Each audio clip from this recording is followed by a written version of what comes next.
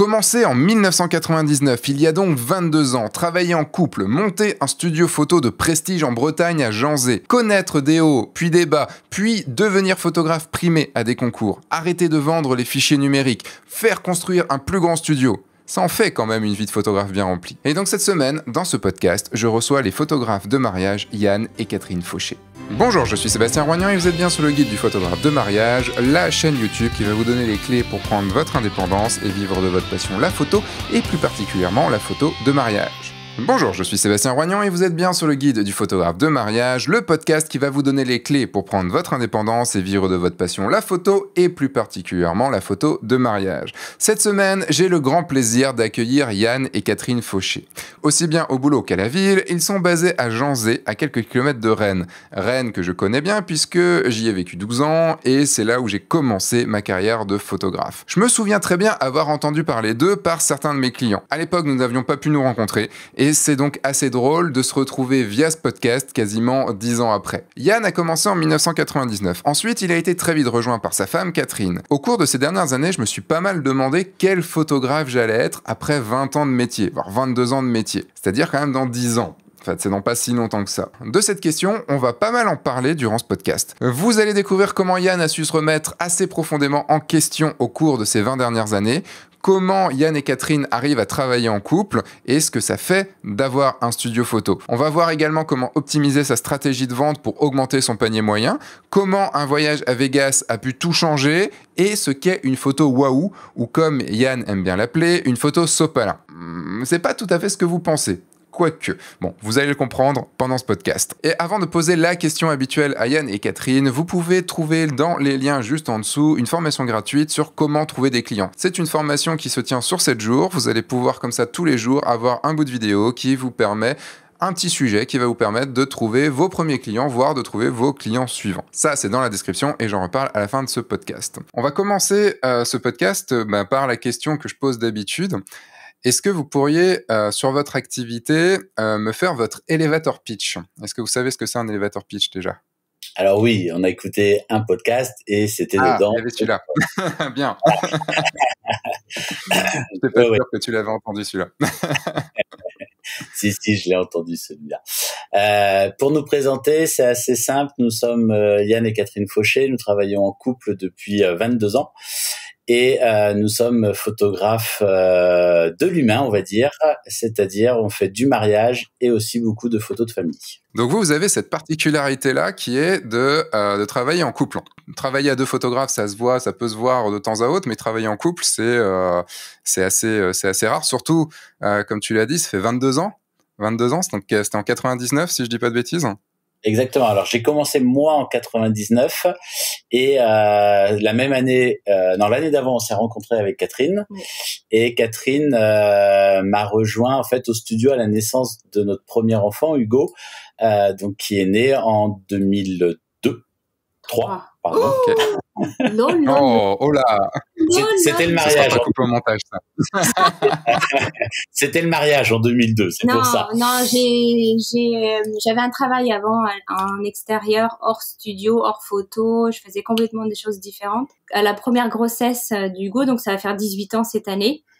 Euh, j'avais pas envie de reprendre un travail de salarié. J'avais envie de rester avec lui au studio. Et donc du coup, comme Yann m'a dit, mais écoute, si ça te plaît, euh, on peut essayer de faire l'aventure ensemble. Et tu vas te former, je vais te montrer. Enfin voilà, on va on va voir. Et puis et puis ça fait maintenant 18 euh, ans.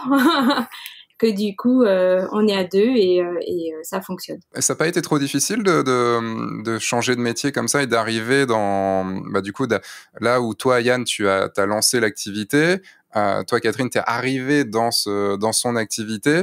Enfin, ça a dû être un, gros chamboulement quand même. De, toi, Catherine, tu as dû apprendre plein de choses. Enfin, Est-ce que tu as fait de la photo? Est-ce que tu t'es, euh, occupé d'autres choses dans, le studio? Enfin, comment, ça s'est passé? Euh, bah, Au départ, euh, je l'ai beaucoup regardé faire. C'est-à-dire que j'étais à, côté de lui où je regardais comment il travaillait. Et puis après, oui, j'ai fait de la formation aussi bien des, stages euh, en prise de vue, des stages de euh, mariage, de portrait, et puis après euh, de la formation marketing. Enfin voilà, j'ai avalé beaucoup de choses. Hein. J'ai voulu, mais je l'ai fait euh, sur le long terme. Hein. Mais et puis non, ça s'est fait assez facilement finalement, je trouve. Hein. Parce que je pense que j'étais prête et que ce que je faisais avant ne me plaisait plus, donc du coup j'étais j'étais prête à à le faire. Donc, Vous aviez quel âge tous les deux à, ce moment-là? Non, non, non, non, c'est pas grave. Euh, euh, que pour toi, Yann, si tu veux, parce que je sais que pour les femmes, c'est euh, différent, mais c'est. c'est parce que Catherine est plus âgée que moi, c'est pour ça qu'on rigole toujours. D'accord. moi, j'avais 25, moi, j'avais 25 ans et toi, tu avais 30 ans. Voilà. D'accord. Oui, donc, donc c'était assez jeune quand même. Oui. Ouais. En fait, moi, j'ai ouvert à 20 ans et euh, et, euh, et, Catherine, en fait, euh, ce qui s'est passé, c'est qu'on habitait au-dessus de notre magasin, notre studio, et donc du coup, elle descendait, elle aimait bien la relation avec les clients et et on faisait avec moi quand je faisais du mariage, et ben en fait, Catherine tenait tenait le magasin. En fait, là, on peut parler de magasin. Et, euh, et puis un jour, elle s'est mise à la photo de mariage, c'est-à-dire j'étais en retard sur un mariage, j'en avais un autre derrière. En Bretagne, dans le temps, on faisait un mariage le matin, un mariage l'après-midi. Et donc du coup, je lui dis, je suis en retard, prends un appareil photo, va à la mairie, traverse la rue. Et en fait, elle a fait son premier reportage comme ça, en fait. Donc en fait, j'ai ah ouais, sur le l'ai vu faire. Je suis arrivé juste à l'heure. Je l'ai, j'ai pas été sympa. En fait, je l'ai laissé euh, partir euh, toute seule et en fait, elle s'est très bien débrouillée. et, euh, et du coup, je lui ai dit, bah écoute, maintenant, voilà, tu sais faire du mariage et on va progresser ensemble et et c'est ça qui est qui est super. Et après, on a trouvé tous les deux notre nos rôles à chacun dans dans l'entreprise en fait. Et actuellement, c'est quoi vos rôles alors spécifiques? Alors, euh, donc pour moi, je. Alors, on va parler sur le global. Hein. J'ai l'accueil, euh, l'accueil des clients, tous les contacts téléphoniques ou mail. Euh, après, je vais les accompagner longtemps, c'est-à-dire que ça va être jusqu'à la livraison. moi, je fais aussi des reportages photo mariage, du coup. Et ensuite, tous les tous les rendez-vous de vente aussi bien mariage que studio, c'est avec moi. Et Donc pas une vidéoprojection. Des vidéoprojections, euh, voilà. Et puis après, j'ai après tout le côté administratif, une grosse partie, une partie un peu euh, post prod, et, c'est déjà pas mal. voilà. c'est ça, c'est quand même très très global. Ça, Catherine va rentrer là dans la grosse saison et donc Catherine, c'est elle qui fait quasiment toute ma post prod. Euh, voilà, parce que hum, voilà entre les prises de vue euh, mariage et les prises de vue euh, famille, mmh. studio, bah voilà, on fait beaucoup d'images et du coup des fois j'ai pas le temps de tout faire, donc j'ai la chance que Catherine puisse prendre le relais et, et prépare en même temps les vidéoprojections car toutes nos photos sont visionnées par nos clients en vidéoprojection. On reviendra, on reviendra sur cette technique-là un petit peu plus tard dans le podcast parce que ça m'intéresse. et donc toi, Yann, tu si je déduis un petit peu de tout ce que Catherine fait, toi, tu fais plus que shooter? Ouais, je fais pas grand chose en fait. non, non, non, non, je, oui, le bouton. je fais. Euh, alors moi, je fais euh, bien sûr les reportages mariage puisqu'on est là pour le mariage. C'est moi qui fais toutes les séances couple tout seul. Donc si mettons un samedi, nous avons deux mariages. Catherine fait un reportage mariage, moi j'en fais un. Mais par contre, dans la semaine, vu que nos séances couple sont faites en semaine, euh, c'est moi qui les fais euh, tout seul. Et puis après, en ce moment, c'est moi qui euh, fais la post-prod euh, pour préparer les, les vidéoprojections. Et après, c'est moi qui finis les images et qui vais créer nos livres, euh, puisque nous, nous ne vendons que du livre ou des tableaux, mais nous ne vendons pas de fichiers. Donc, du coup, voilà, donc toutes les photos sont faites une par une. Après, je les reprends toutes et, et voilà. Et après, sur la partie studio, tout ce qui est enfant de moins de trois ans, Catherine est avec moi sur les séances c'est elle qui s'occupe des bébés par exemple et euh, et qui fait rire les enfants de 1 à 3 ans. Voilà, elle est à quatre pattes, elle est fait euh, voilà. Et moi là, j'appuie vraiment sur le bouton. Donc chez nous, ça va très très vite les séances. Et puis euh, après tout ce qui est séance famille d'adultes, là je, je, gère tout seul. Donc ça, ça a l'air d'être quand même très bien très bien cadré tout ça. là donc tu as parlé de, de séances couple, de séances de reportage mariage, de séances famille, de séances on va dire bébé, pas, pas forcément nouveau-né? Si c'est nouveau-né, grossesse, nouveau-né, grossesse, on, fait tout ce qu'un photographe portraitiste fait. Voilà, on va du bébé de, 15 jours à la, à la personne âgée de 100 ans et plus. Alors non, d'abord ma question c'était euh, en gros quel est votre plus, enfin qu'est-ce que vous préférez faire? Et euh, est-ce qu'il y a un truc que vous préférez faire, préférez faire dans tout ça? Est-ce que ou sinon est-ce qu'il y a quelque chose qui prend le plus? Est-ce que c'est par exemple le mariage que vous faites le plus? Est-ce que c'est les séances famille que vous faites le plus? Est-ce qu'il y a un domaine qui prend le pas par rapport aux autres? Alors on va dire que le mariage euh, prend la moitié, au moins. voilà. Mais euh, les séances famille, euh, en fait, on a la chance d'avoir nos anciens mariés qui reviennent pour des séances famille. Euh, on était l'autre jour avec un collègue et on parlait de ça et on a calculé qu'à peu près 60% de nos séances famille sont des gens qu'on a déjà photographiés ou issus du mariage. Donc c'est ça qui, euh, qui y a une raison à ça? Une raison, la, gentillesse qu'on a, bien sûr. je parlais d'une euh, raison marketing plus que le, côté euh, les photos qui sont aimées et, votre gentillesse, bien sûr. C'est vrai que ma question faisait un petit peu comme ça euh, bizarre, mais c'était pas le cas. Non, non, on a une raison bien sûr marketing, puisqu'en fait on fidélise nos, nos, clients et nos familles, et, et c'est ce qu'on aime en fait. Et quand tu demandais, est-ce qu'on a vraiment quelque chose qu'on aime plus que d'autres. Non, parce qu'en fait, là, on est super content de, de, rattaquer la séance, euh, euh, la saison de mariage. Mais euh, une fois que la saison de mariage, on l'a fini, on est euh, rattaqué et on est content d'enchaîner sur une saison famille, en fait. Donc, bien que cette année, avec l'année Covid qu'on a eu l'année dernière, cette année, on va enchaîner famille et mariage en même temps. Donc, ça va être assez, mhm. intense. assez intense cette année. Mm. Oui, mais on s'est reposé pendant un an là. Mais nous, en fait, pendant les un an là, on a fait énormément de, marketing. Euh, et donc on a voilà on a on a on a aussi euh, voilà pris des nouvelles de nos clients etc. donc c'est ça qui est important. C'était ironique ma remarque, bien sûr. on, a, on, a, eu beaucoup de boulot pendant, pendant cette année, ne serait-ce qu'à gérer les reports, à gérer tout ça, on a eu quand même beaucoup, euh, beaucoup de boulot. Euh, le, juste pour savoir, vous êtes à, peu près, enfin en temps normal, on va pas parler période Covid, hein, mais en temps normal, vous êtes à combien, combien de mariages, combien de, combien de séances famille, enfin juste pour se, pour savoir à peu près? Alors en séance famille, on est euh, sur une année normale entre 100 et 120 séances.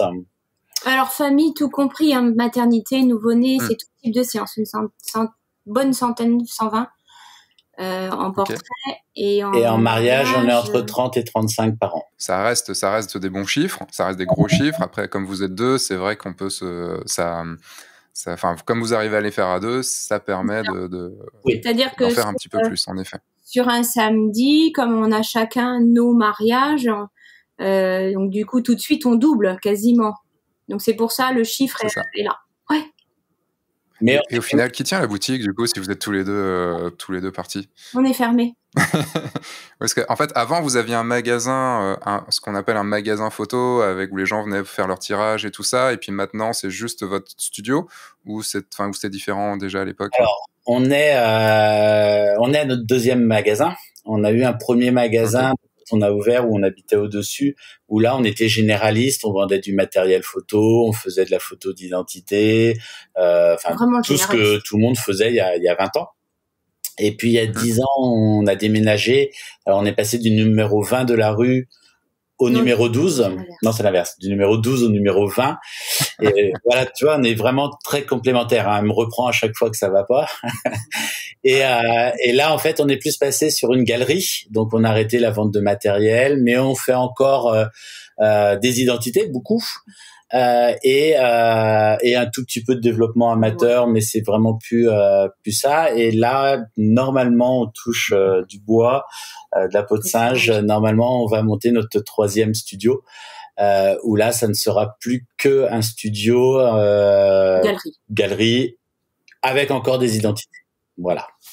D'accord. Donc vous ne ferez pas de photos en studio, donc avec des flashs ou autres euh, chez vous En fait, on, on va ouvrir un, un, studio de 270 mètres carrés euh, où on aura un très grand plateau, une salle de vidéoprojection, enfin plein de plein de choses.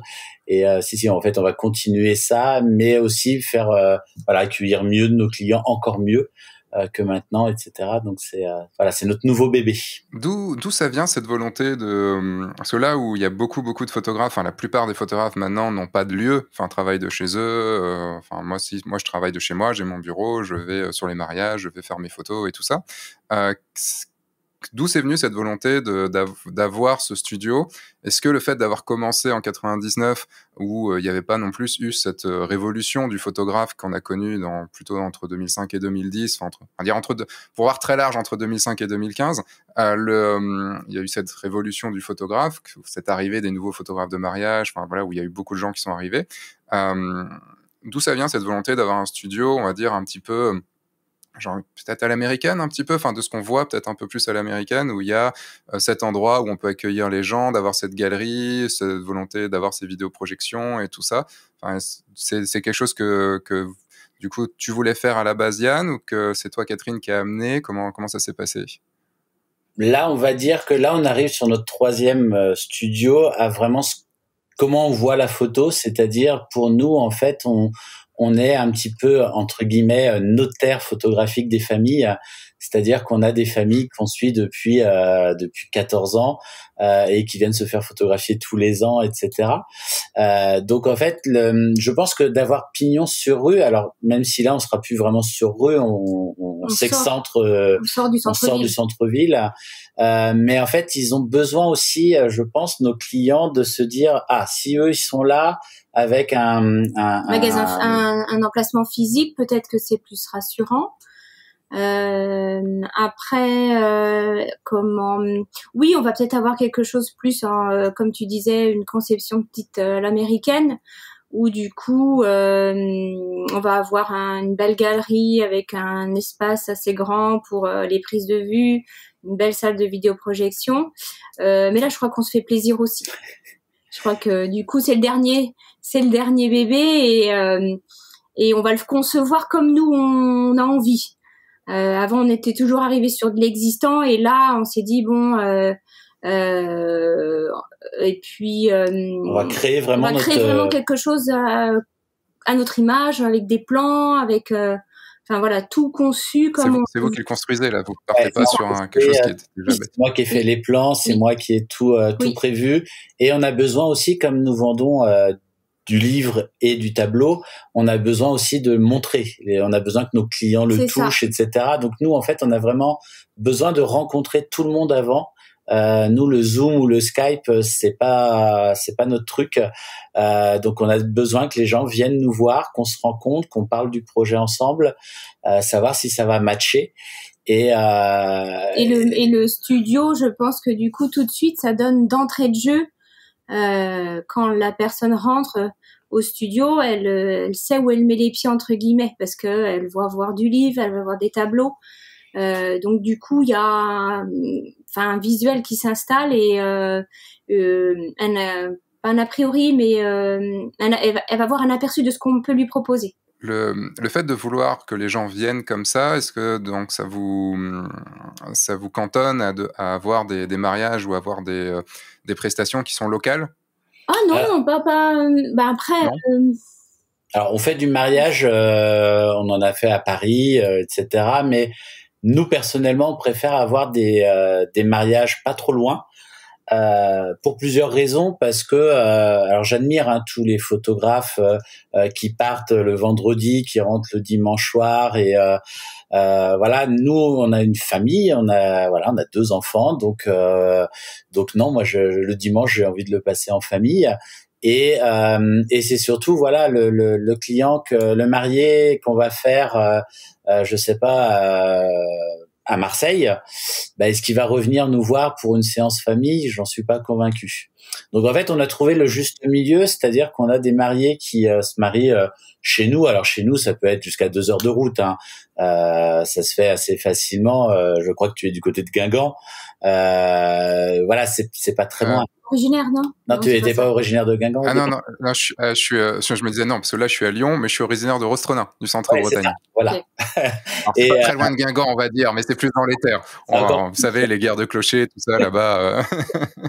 non, non, mais c'est ça. Donc en fait, en Bretagne, on va assez vite. voilà, on peut faire des mariages partout en Bretagne, et on a la chance après de pouvoir faire des, des des photos de couple, par contre, à l'étranger, plus loin, où là, on va se faire plaisir et là, on va partir tous les deux avec les mariés. Donc, euh, donc on a trouvé le juste milieu et, et on en revient toujours au même. Nous, beaucoup de nos anciens mariés reviennent pour des séances famille et, et nous, ça nous fait super plaisir en fait d'avoir, euh, de suivre maintenant leur évolution. Euh, voilà, on a fait l'autre jour une photo de bébé. Euh, le papa nous fait, euh, bah ouais, vous aviez fait ma communion. Donc là, tu te prends un grand coup de vieux. Mais pour nous, c'est c'est voilà, c'est génial. C'est euh, voilà. Donc on se dit bon, j'espère que nos images sont pas encore euh, ringardes. Euh, voilà. Mais on essaye d'évoluer sans cesse, ouais. Donc la zone d'achalandise, elle est une heure et demie à deux heures. Les gens sont capables de faire euh, ce trajet-là. Ouais, ouais. Ok. Donc ça fait de Janzé, ça fait à peu près Le Mans.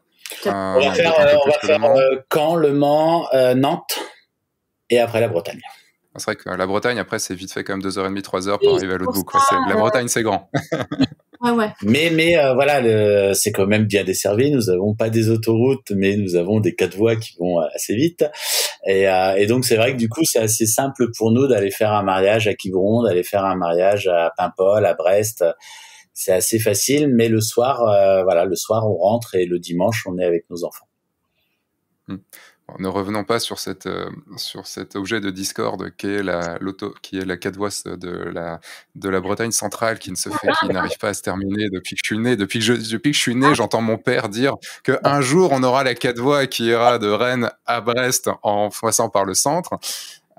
un jour. Elle avance, elle avance, elle avance. Elle avance, mais petit à petit quand même. chaque fois que je rentre chez mes parents, je vois une, je vois une portion supplémentaire qui est, euh, qui est non, pardon, c'était ça, c'était ma question d'après. Ma question de là maintenant, que j'avais perdue en parlant de, cette RN, euh, je ne sais plus combien, le, euh, c'est, vous comprenez que c'était un sujet sensible à la maison. je vois bien, je vois bien. Euh, donc les, gens reviennent. tout à l'heure, vous avez dit que vous aviez mis en place un un marketing pour qu'ils puissent revenir. Donc, outre le fait que vous soyez super sympa, que vos photos plaisent, que tout ça et tout, euh, qu'est-ce que vous avez mis en place, marketingment parlant, pour, euh, pour les inciter à revenir? En fait, c'est parti de l'idée quand nous faisons euh, le mariage et puis qu'on nous demande des photos de groupe. En fait, tout simplement, à chaque fois, il y a la maman qui vient du marié ou de la mariée qui me dit pendant, pendant le cocktail, est-ce que je peux avoir une photo de moi et mes enfants, euh, etc. Et en fait, ça m'embête. Là, je vais parler pour moi, pas forcément pour Catherine, mais je pense que tu vas me rejoindre. Euh, que ça soit les mariés qui soient eux avec la robe, le costume euh, au centre, et puis après on met les parents, et après on met les frères et sœurs. Et donc en fait, on est parti du principe à leur dire que voilà, vous nous avez confié euh, les photos de votre mariage. Et ben depuis, ben maintenant, plus jamais vous paierez les frais de séance chez nous. Donc on vous propose plutôt de revenir faire une vraie séance, euh, pas forcément studio, ça peut être aussi à la mer, ça peut être euh, dans la nature, etc. Mais par contre, ce sera pas les mariés au centre et les parents et les frères et sœurs, ce sera les parents avec les frères et sœurs, tout le monde sur le même piédestal, etc. Et donc du coup, voilà. Et puis mm. après, donc ça, ça a été voilà. L'idée est partie de là en se disant voilà, vous ne payez plus nos frais de séance et, euh, et du coup, bah, ils reviennent aussi bien pour les séances famille et les séances euh, bébé maternité car on a encore des des, euh, des mariés qui font encore des bébés. Donc ils sont pas tous que des enfants. Donc du coup, ils, reviennent nous voir pour ça. Donc voilà en gros ce qu'on a mis en place. Et et puis du ils connaissent aussi euh, nos supports sur lesquels on va livrer euh, les photos, euh, donc nos livres ou les tableaux. Et donc du coup, il n'y a jamais de problème. Non, c'est plus facile, c'est plus c'est déjà plus facile parce que du coup ils ont déjà vu notre studio, ils font appel à nous pour le mariage. Donc du coup, euh, le, le, climat est déjà installé, la confiance, ils arrivent, ils sont détendus pour cette séance-là. Les parents nous ont vus aussi le jour du mariage. Donc du coup, euh, c'est, c'est, c'est le lien est déjà fait. Donc c'est super hmm. facile après, le jour de la séance photo, quand on les revoit euh, six mois ou un an après, ben du coup là c'est, ben, en plus c'est super sympa parce qu'on on se revoit après le mariage et euh, et euh, on aime bien du coup le côté, euh, ben il continue à, à, à venir chez nous on va installer tout doucement les photos pour suivre leur famille, pour des familles ou avec naissance ou, ou, quoi que ce soit. Mais du coup, on continue leur histoire avec.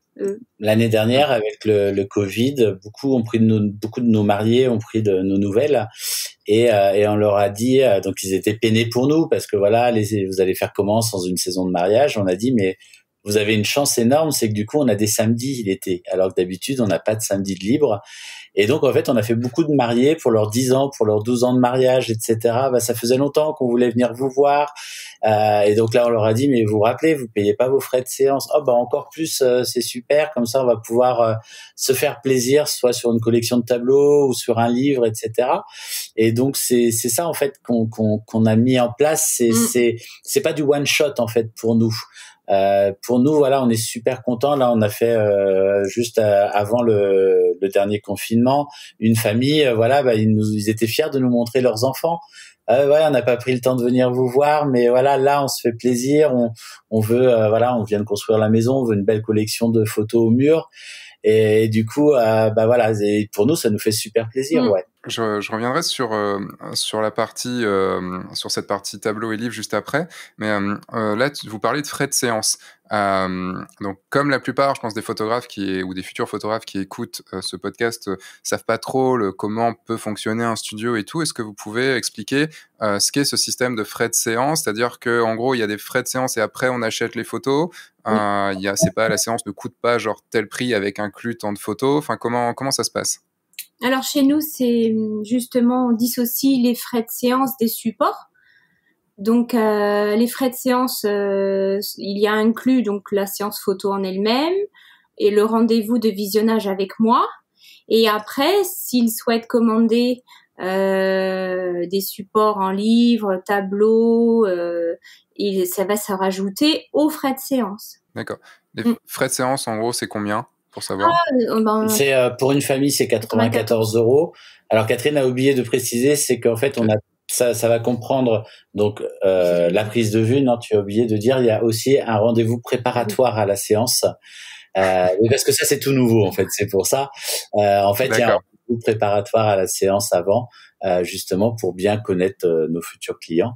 Et donc ça, c'est euh, aussi nouveau. Ouais. Donc ce qui fait que quand vous vendez une séance photo, vous savez que vous allez vendre 94 euros, mais vous savez pas combien vous allez gagner pour cette séance photo au final. Exactement. On, nous, en fait, on est, nos clients sont libres de faire ce qu'ils ont envie. Donc s'ils ont envie, après, je pense qu'ils ont de quelque chose. S'ils ont envie d'un livre, eh ben, ils achètent un livre. S'ils veulent des tableaux, ils achètent des tableaux. S'ils veulent les deux, ils ont les deux. Euh, du fait qu'ils se projettent en fait euh, mieux à la vidéoprojection. Euh, c'est là en fait une fois qu'ils vont avoir découvert les images qu'ils vont se dire ah bah finalement ouais c'est plus ça ou plus ça et, euh, et en fait on n'a pas un temps euh, bien sûr une séance ça va durer une heure mais on fait plein de combinaisons etc donc c'est assez c'est assez varié. Mais pour la plupart des des nouveaux clients par exemple ils ne savent pas ce qu'ils ont envie en fait. Et c'est pas trop compliqué de vendre la, de vendre donc cette séance photo sans euh, enfin tout sans, sans, dire bah, vous aurez quelque chose après. Enfin il va falloir que vous rajoutiez de l'argent pour pouvoir avoir quelque chose.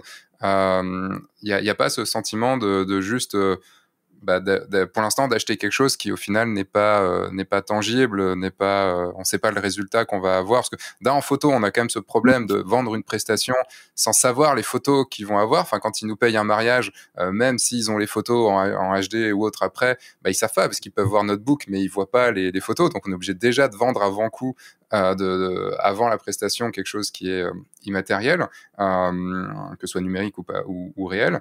Et là encore en plus c'est voilà, vous, payez ça et vous avez, euh, enfin, et vous n'avez rien puisque vous n'avez même pas les photos en, numérique derrière.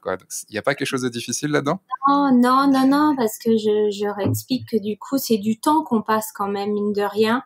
Euh, il y a le, rendez-vous euh, de préparation, il y a la séance photo, la séance de visionnage. Et même encore avant la séance de visionnage, il y a le temps qu'on va passer nous à développer les images, à les préparer justement.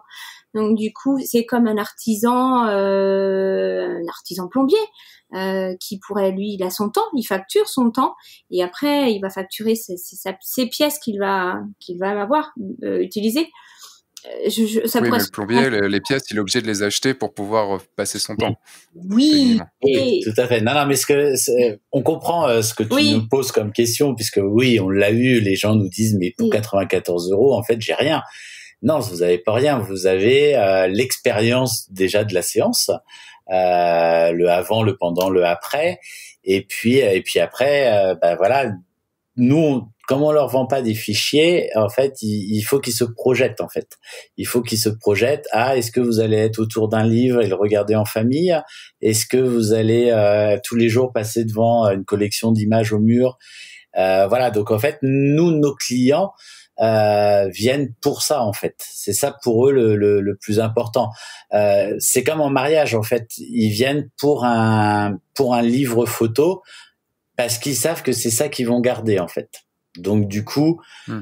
la question ne se pose pas. Mais oui, euh, on a on a on a tous les jours des demandes. Mais oui, mais j'ai rien pour 94 euros alors que c'est pas rien. Voilà, c'est ça. Oui, mais dans la tête des gens, ils viennent, euh, ils viennent quand même pour des photos. Donc, si ils, viennent pas forcément pour une séance photo, même, dans la tête des gens, je pense qu'ils ont, ils, ont, ils ont plus envie d'une photo que de la séance photo. Et après, quand ils ont vécu la séance photo, ils disent ah oui, c'était vraiment un moment cool, quoi. C'est ça. en tout cas, moi, c'est ce que je vois euh, régulièrement. C'est ça. Et mais on a, on a euh, essayé de, de, faire des collections où la prise de vue est compris dedans aussi. Donc, c'est-à-dire que tu as sur notre site, il y a c'est marqué prise de vue plus un livre plus un tableau, tout ça pour euh, voilà. Donc ça c'est possible aussi. Comme ça ils arrivent mieux à se projeter. Mais euh, mais pour nous c'est très important de savoir qu'est-ce qu'ils veulent faire de ces images en fait. Si c'est juste avoir euh, une clé qu'ils vont garder sur un téléphone ou sur un ordi, ça va pas. voilà, ils viennent pas chez nous pour ça. Enfin, il y a des, du coup des clients qui sont euh, qui, qui, qui, refusent de, de, quand ils apprennent qu'il n'y a pas de, de, de, fichiers numériques et tout. Est-ce que est-ce qu'il y a un ça est-ce qu'il y a un certain type de client qui dit non, bon finalement moi je vais je vais les voir ailleurs.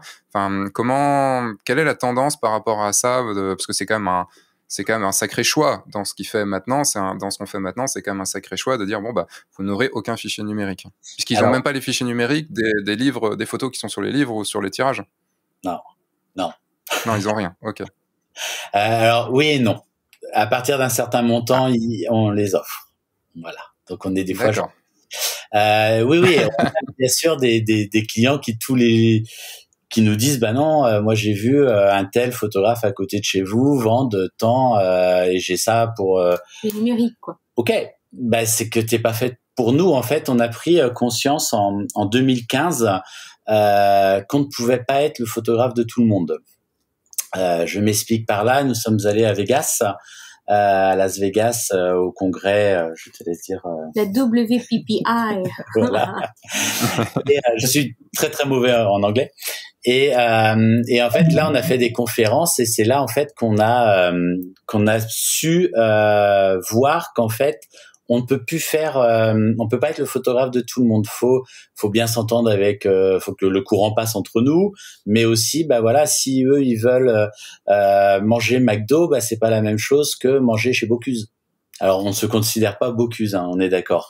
Mais, mais voilà, c'est nous ce qu'on veut, c'est leur faire vivre une expérience. Donc que ça soit en famille ou que ça soit en mariage, c'est pareil. C'est une expérience qu'on veut leur faire vivre de A à Z. Donc, euh, donc tout ça, bah oui, c'est c'est ça a un prix. Et ce, changement de ce changement d'état d'esprit, il, s'est fait il s'est fait d'un coup après euh, après cette conférence ou c'était quelque chose qui était sous-jacent ah avant et qui est arrivé. Euh, on, comme en, 2015, on, on, avait quand même des, des doutes sur la continuité de rester sur notre ligne de vendre que des supports physiques, albums ou livres. Euh, parce que là, on avait mm. une recrudescence de, de demandes de, de, de, prospects mariés qui voulaient absolument du fichier, du fichier, du fichier. Et là, avec Yann, on s'était dit, mais euh, est-ce qu'on est vraiment sur la bonne voie? Est-ce qu'on fait bien de continuer à, à, rester droit dans nos bottes, à dire euh, non, non, non, on fait que du livre, non, non, on fait que des tirages ou des, ou des tableaux? On avait vraiment eu un doute en, en 2015. Et la WPPI euh, a été vraiment bénéfique parce que du coup, sur les conférences qu'on faisait en mariage, euh, les conférenciers nous rejoignaient hein, mm. en disant laissez couler le fichier, laissez couler le CD, c'est quelque chose qui sera mort dans quelques années, continuez à faire des livres. Et on était ressortis de, de, de ça en disant faut qu'on continue, euh, il faut qu'on reste dans notre ligne de conduite. Euh, tant pis, on va en perdre, ça c'est sûr. Mais il faut qu'on reste convaincu parce que de toute façon, euh, euh, c'était pas nos convictions de vendre du fichier. Donc si tu vends quelque chose où t'es pas convaincu, je sais pas comment l'expliquer, mais ça se voit. C'est c'est hmm. ça se voit. C'est tu te trahis entre guillemets. Donc du coup, euh, on était revenu de, de la WPPI et puis on s'est dit on reste, on continue notre chemin et puis on verra ce qu'il arrivera entre guillemets. Mais euh, et pour nous, pour nous le, le plus important, c'est euh, c'est en fait tu as, euh, je sais pas, sur 100 photographes, peut-être 90% qui vont vendre que du fichier. Et du coup, bah nous, on sort un petit peu du lot aussi. Pourquoi nous, on vend pas de fichiers, mais des supports? Et donc ça interpelle aussi les clients et donc les clients qui voilà après dans notre argumentaire donc je reçois en fait c'est moi qui reçois tous les mariés en en, pas en entretien, mais euh, voilà, un petit rendez-vous de rencontre. Euh, et c'est là que je leur explique notre philosophie et que euh, bah, qu'une clé USB c'est éphémère, qu'il faut après les mettre sur euh, sur des clouds, etc. Donc euh, voilà et puis après je prends aussi notre expérience avec nos enfants. Bah, on aime bien regarder un album se mettre tous autour euh, voilà et de, de, de, de, mettre le doigt sur le livre.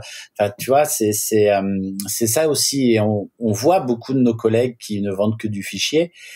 Bah, nous on a décidé de partir autrement quoi en fait. Et euh, et après l'autre aussi atout de vendre fichiers et tableaux c'est que aussi c'est notre carte de visite.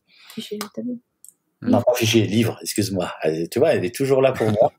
Euh, non, non, en fait, euh, un livre, bah voilà, les, les, c'est pareil entre un livre qu'on fait avec notre partenaire euh, ou euh, un livre qui est fait sur Internet, sur, euh, je sais pas, euh, auchan.fr. Ah ouais, la qualité, elle est pas du tout la même. Donc du coup, pour nous, c'est c'est beaucoup plus valorisant et donc les gens se disent ouais, mais t'as dû le payer hors de prix ce photographe. Et quand les mariés, en fait, c'est notre meilleure publicité, disent mais non, rapport qualité-prix, euh, le studio Fauché, Yann et Catherine, c'est euh, un super rapport qualité-prix, quoi. Vous avez eu une, euh, du coup, en revenant en 2015, en prenant cette décision, vous êtes dit bon, on va peut-être en perdre. Est-ce que effectivement vous en avez perdu pendant un certain moment ou le temps de, de, de reprendre, enfin de reprendre de l'élan, ou au final c'est resté normal? Non, en fait, on n'a jamais. Alors, on est, si tu veux, en 2007, notre record de mariage a été 112 mariages sur une, saison. Waouh Comment c'est possible ça? Bah, c'est la chaîne là. Tu sais, dans le temps en Bretagne, on faisait aussi que des mariages couples et photos de groupe. Donc voilà, c'était différent de maintenant. Et, euh, pas qu'en Bretagne, c'était un peu partout. Ouais, ouais, c'est ça. Donc du coup, bah t'enchaînais, hein, on en enchaînait, euh, voilà, à l'appel, à l'appel. Mais en fait, pour nous, on brassait et c'était pas ça notre vision qu'on avait. Et donc, on a décidé vraiment en 2015 euh, après Vegas de se dire non, il nous en faut une 30 entre 30 35 euh, des fois, on se dit allez, on pourrait aller peut-être jusqu'à 40, mais pas beaucoup plus parce que euh, voilà, en tirant sur sur sur le mois de novembre et sur le mois de février, on pourrait en faire quelques-uns en plus. mais mais on s'est dit non, maintenant on veut passer être 100% avec nos mariés, c'est-à-dire que quand on est sur le mariage, on pense pas à celui qui y a après, etc. Donc c'est beaucoup mieux, ouais. C'est euh, c'est pour nous euh, voilà. Donc on en a perdu oui mais encore une fois on n'est pas depuis qu'on a compris qu'on n'est pas le photographe de tout le monde euh, bah voilà si tu veux des fichiers nous on fait pas. Donc on va te dire bah allez voir un tel ou un tel photographe. Eux ils vont pouvoir vous faire ça et et voilà c'est marrant parce qu'aujourd'hui, là, juste sur, euh, sur ma chaîne YouTube, je sortais une vidéo qui était sur le client cible et intitulée Vous ne pouvez pas vendre à tout le monde ou Vous ne devez pas vendre à tout le monde. Donc ça, ça rejoint exactement ce. Je ne peux être que d'accord avec ce, ce discours-là, puisque c'est aussi comme ça qu'on peut être différent. Et euh, même si je partage pas ce, ce, système de ne pas de ne pas donner les fichiers, bah voilà, c'est on a on est convaincu. comme tu disais Catherine, il faut être convaincu. Et euh, si t'es pas convaincu par quelque chose, tu arriveras de toute façon pas à le vendre. Alors pour le euh, mariage, nous vendons pour le mariage, nous vendons d'abord euh, les livres et selon la, la, la, la, gamme de livres qu'ils prennent, ils ont la possibilité d'acheter les fichiers ensuite par la suite. Est-ce que ça, ça va donc pas contre votre, euh, votre, votre état d'esprit au début? Non, parce que ça veut dire qu'ils ont déjà pris leur euh, album à eux les albums des parents et, euh, et euh, des tableaux. Donc après, ils peuvent avoir les fichiers, ça nous embête pas parce qu'ils ont au moins une euh, une base de la qualité des tirages, comment ils doivent être faits. Donc en fait, après, on le voit, ils vont essayer de faire sur Internet des tirages photos qui vont pas être bons et donc ils vont revenir nous demander les tirages. Est-ce qu'il n'y a pas derrière, je vais faire mon avocat du diable, hein. est-ce qu'il n'y a pas derrière une, une sorte de, de, stratégie marketing commerciale de, de, de les obliger donc à d'abord acheter des produits chez vous, de garder en otage les photos pour pouvoir les pour pouvoir qu'ils achètent ces, ces, ces, ces, albums et ces tirages là. Alors non non, on les prend pas en otage, ils le savent déjà. Mais si tu mhm. veux, 90% de nos euh, mariés s'en fichent royal des tirages, des, des, fichiers. des fichiers. pardon. euh, ouais, ouais, le lapsus. Pour eux, ce qu'ils veulent, c'est leur livre en fait et un beau tableau au mur d'une mm. séance euh, couple. Donc euh, les mm. fichiers, en fait, ils, s'aperçoivent qu'on a dans nos téléphones des milliers de photos, mais qu'on n'en fait jamais rien. Donc regardez, regardez un, un, je sais pas, 500 photos sur euh, sur un ordinateur, c'est long. Alors que feuilleter un bel album, qui a, voilà, ça c'est plus sympa. Et derrière aussi, on leur met souvent une petite application sur le téléphone où ils ont leurs photos préférées. Et ça, par contre, ça va plutôt les intéresser que d'avoir toute le, je sais pas, il y a beaucoup de photographes qui mettent 1000 photos sur une clé. C'est trop pour, pour nous, en fait. Euh, voilà, il vaut mieux euh, moins de photos, mais de la qualité et, euh, et de savoir après ce qu'ils ont envie d'en faire. Et ce serait pas une seule. je... En fait, moi de mon côté, j'ai eu cette révélation aussi là du livre. Euh, ça devait être en 2012, quelque chose comme ça, parce que moi j'ai commencé en 2010 et euh, c'était en 2012 euh, où je dis non, il faut. Enfin, le livre pour moi c'est important et tout.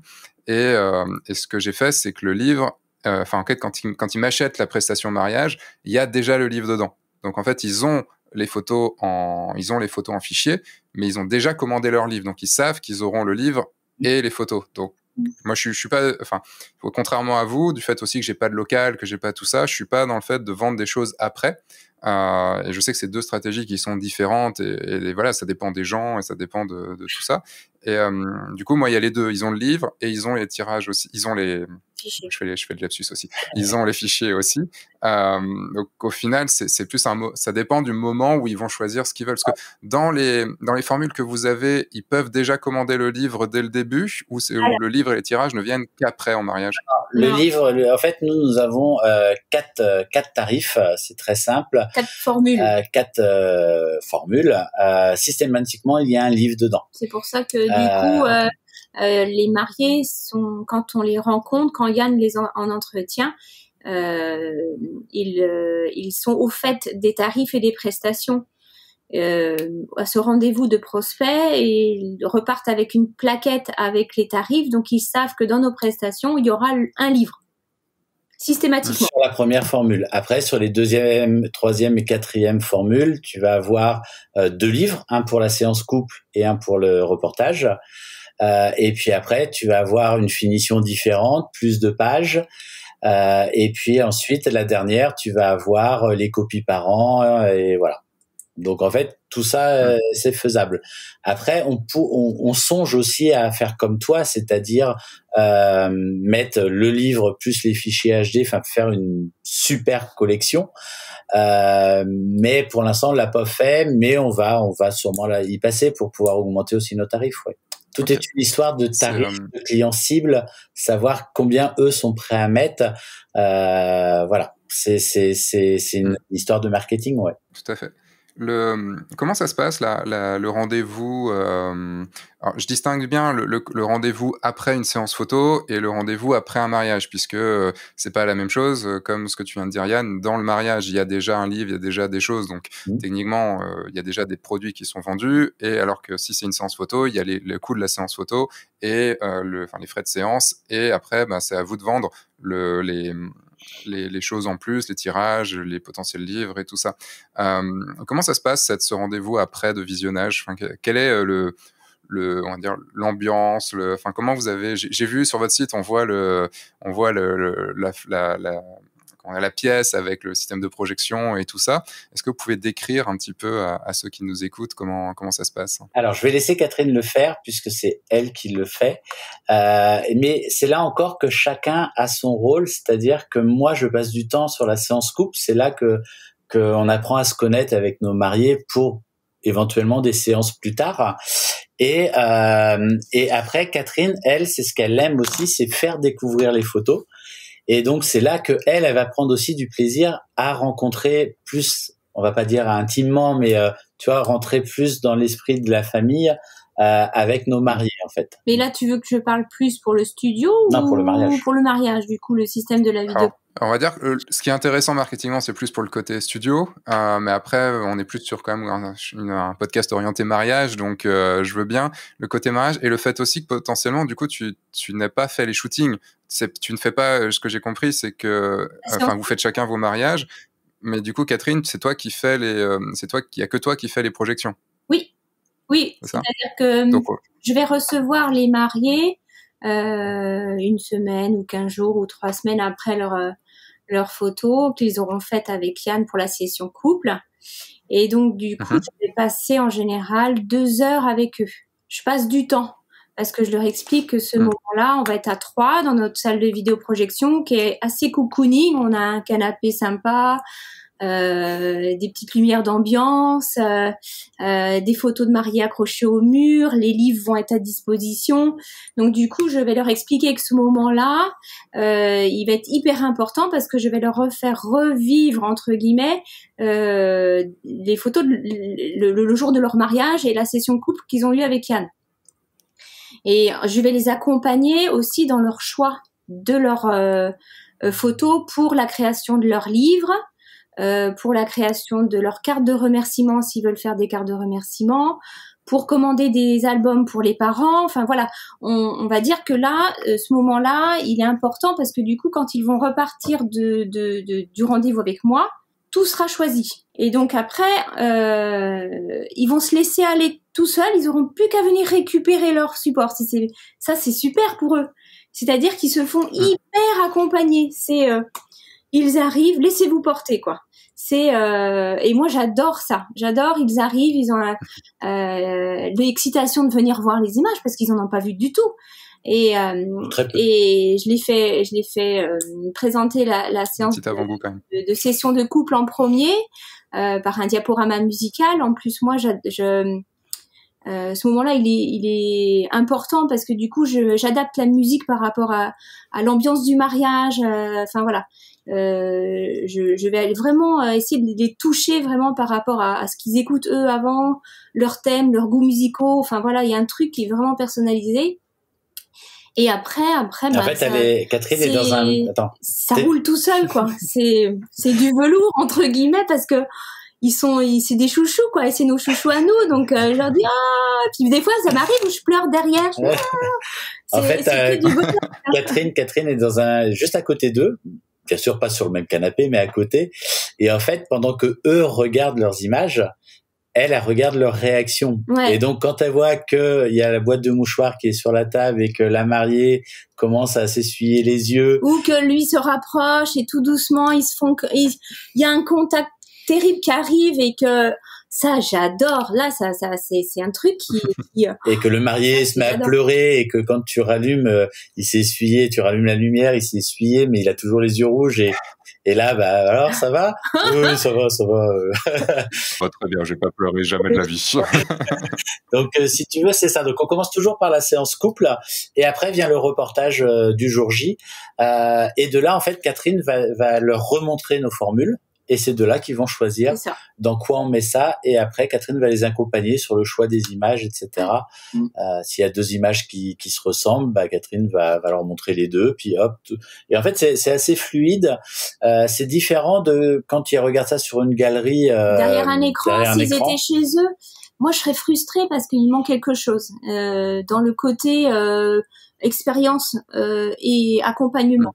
Euh, et, et, après, euh, après chacun fait comme il le sent. Hein, euh, mais moi, j'adore ce moment-là de les revoir et que quand on, ils repartent de ce rendez-vous, ben ils sont prêts à me serrer dans les bras tellement qu'ils sont contents. C'est un truc, c'est extra, c'est extra quoi. Il y a un jeu qui s'est un petit peu instauré, c'est-à-dire que beaucoup de mes mariés sur la fin de la séance coupe amènent une bouteille de champagne à la fin.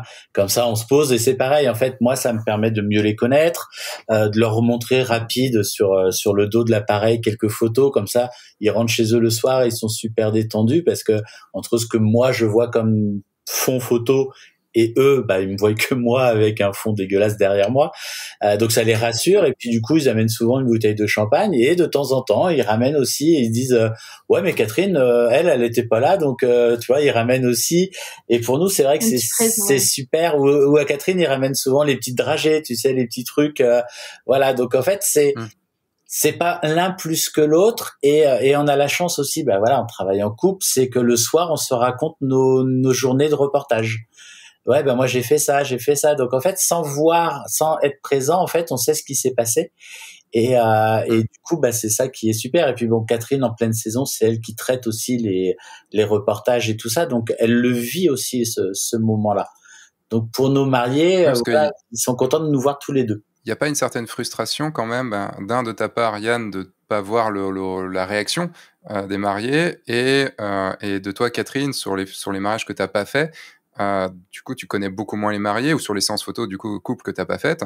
Il euh, n'y a pas une certaine frustration de, alors de ton côté Yann et pas forcément une frustration de ton côté Catherine, mais un, un certain, euh, une certaine difficulté puisque bah, si les mariés ont passé tout le temps avec Yann, bah, il y a un moment, c'est quelqu'un d'autre, même si vous êtes en couple et qu'ils ont, sûrement déjà vu avant, c'est quand même une autre personne qui, qui regarde les photos de. Enfin, moi, je me mets à leur place, je vais pas regarder les photos avec mon photographe, je vais regarder les, photos avec sa femme qui n'a pas fait les photos. Et, euh, est-ce que ça crée pas, est-ce qu'il n'y a pas un, petit décalage de ce côté-là? Non, non, non. En fait, comme Catherine, c'est elle qui va, euh, c'est Catherine qui va les recevoir au départ, etc. En fait, ils connaissent Catherine. Et puis, c'est le même principe. C'est pendant que moi je fais leur entretien, Catherine, elle est aussi euh, de temps en temps, elle vient. Et puis euh, voilà. Donc en fait, ils ont toujours affaire à nous deux. c'est comme quand moi je fais pas la vidéo projection, mais si je suis présent, je viens leur faire un petit coucou. Donc ils sont aussi contents. Mais hmm. vraiment, ils voilà, on est une entité. Alors au début, c'était, euh, c'est vrai qu'on a changé plein de fois le nom du studio. Euh, c'était La Roche donc un tas de cailloux qui est à côté de chez nous. Après, ça a été Yann Fauché. Après, ça a été, donc là, ça posait plus de problèmes, tu vois, quand c'était Yann Fauché photographe. Là, ça posait plus de problèmes quand euh, c'était Catherine qui faisait le reportage. Mais dès le départ, maintenant, on leur dit c'est soit moi, soit Catherine. En fait, on leur montre des albums faits par tous les deux et sincèrement, j'ai aucune différence entre les deux sur un reportage jour J en fait. Euh, voilà, mmh. donc en fait, non, ils s'en fichent un petit peu, ouais. Et maintenant, en fait, après, on est passé sur Yann et Catherine Fauché, et maintenant on est sur Studio Fauché, tu vois, on a changé plein de fois le nom, mais ils voient bien que c'est vraiment une entité, entité, quoi. Donc c'est ça qui euh, qui est le plus euh, le plus important pour nous. Euh, c'est vraiment qu'ils comprennent bien la différence il y en a pas en fait entre nous. Après, ça peut être. Euh, je comprends le, la question. Euh, alors après, quand, quand je traite les images, et vu qu'on est dans le même bureau, qu'on a chacun notre poste, euh, je demande à Yann ce qui s'est passé. Je, je l'essaye d'avoir un petit débriefing le jour du mariage ou comment s'est déroulée la session couple. Donc du coup, euh, quand j'ai besoin de plus d'informations, sur les séances qu'il a eues avec ses mariés, je vais lui poser la question, je dis mais là t'as voulu faire quoi? Et là qu'est-ce qui s'est passé? Pourquoi il y a eu cette réaction là Donc du coup je vais je vais poser les questions pour que le jour de la vidéoprojection euh, euh, je sois pas étonnée sur des réactions que les mariés pourraient avoir ou euh, euh, où il pourrait me dire ah euh, on a eu ça avec Yann. Donc là je vais dire oui oui je suis au courant.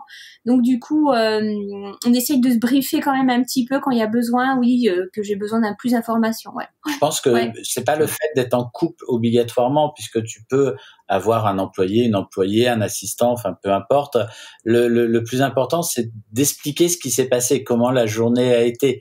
Euh, voilà, tiens, à l'église, il s'est passé ça, donc tu vas voir, il y a une série de photos, ils sont morts de rire parce que le marié a marché sur la robe ou le papa, enfin tu vois.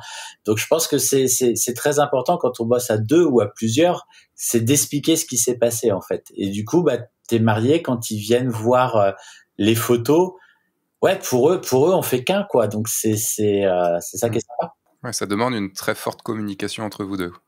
Oui, Et c'est en même temps. Et, ce qui est, beau, c'était magnifique. Ce qui est très important pour nous, c'est qu'il n'y a jamais eu de compète en fait. Il n'y a jamais eu de j'ai fait une meilleure photo que toi, j'ai fait un meilleur truc que toi. Euh, voilà, alors c'est on a gagné des, des, des, récompenses. Euh, elles sont toutes à mon nom, mais il y a eu euh, des fois c'est Catherine qui a fait la photo.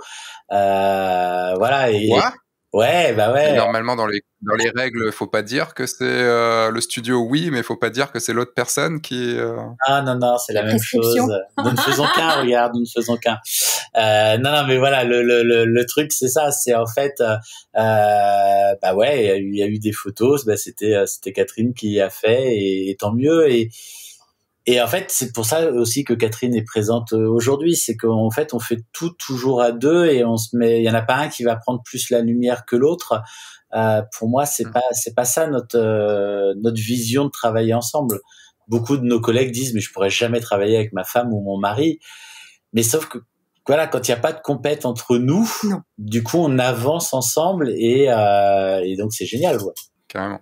Moi, j'ai essayé avec Jessica, mais euh, bon, il y avait une, une grosse différence aussi de, bah, elle a commencé beaucoup plus tard que moi, et, euh, et c'est vrai qu'on a un petit, un petit, une petite on est toujours un petit peu en compétition tous les deux et donc forcément euh, c'est euh, il y a toujours un, truc qui marche pas.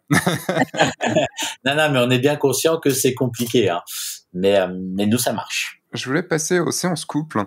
donc il y a toujours cette séance c'est obligatoire d'avoir cette séance couple après le mariage? C'est obligatoire. Alors après ou avant, maintenant on est plus à 90% euh, après le mariage. Mais ouais, chez nous c'est obligatoire. Euh, de toute façon, quand on fait l'entretien, euh, je te je te parle bien sûr de enfin, j'ai besoin de rencontrer nos futurs mariés, mais je vais leur parler de la journée. Mais avant, la première photo que je monte, c'est la séance couple. Qu'est-ce qu'ils ont envie? Mmh. S'ils viennent chez nous, c'est pour cette séance couple là. Euh, et j'ose espérer que c'est ça aussi qui fait notre différence, euh, car euh, voilà, on, on pense qu'on n'est pas si mauvais que ça là-dedans. Et après, toute notre communication est tournée et intégralement quasiment tournée autour de la séance couple.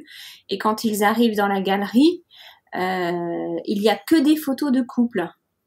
Euh, donc dans la galerie, tu veux dire dans le dans le chez vous? Chez nous, ouais, ouais. Et donc, euh, quand on dit la galerie, on pourrait croire que c'est la galerie, euh, la galerie sur Internet, mais il n'y en a pas de galerie sur Internet. Euh, quand ils arrivent au studio pour, le rendez-vous de consultation, et il y a des agrandissements que de photos de couple.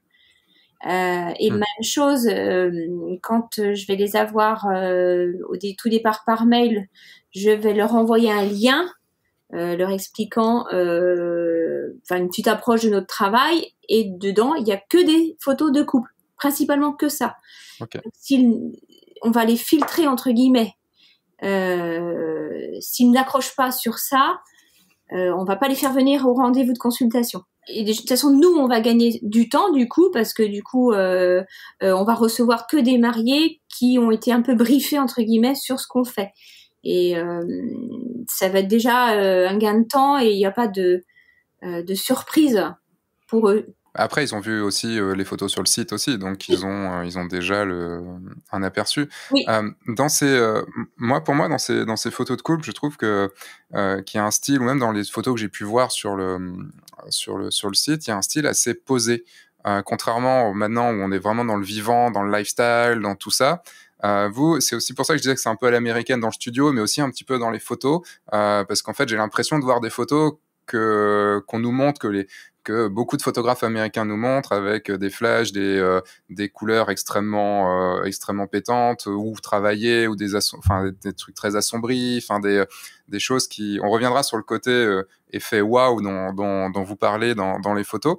mais, mais je, vois beaucoup de photos très posé, où les couples ont, vraiment, euh, comment dire, où on sent que c'est qu'ils ont été mis, euh, comment, mis en place comme ça.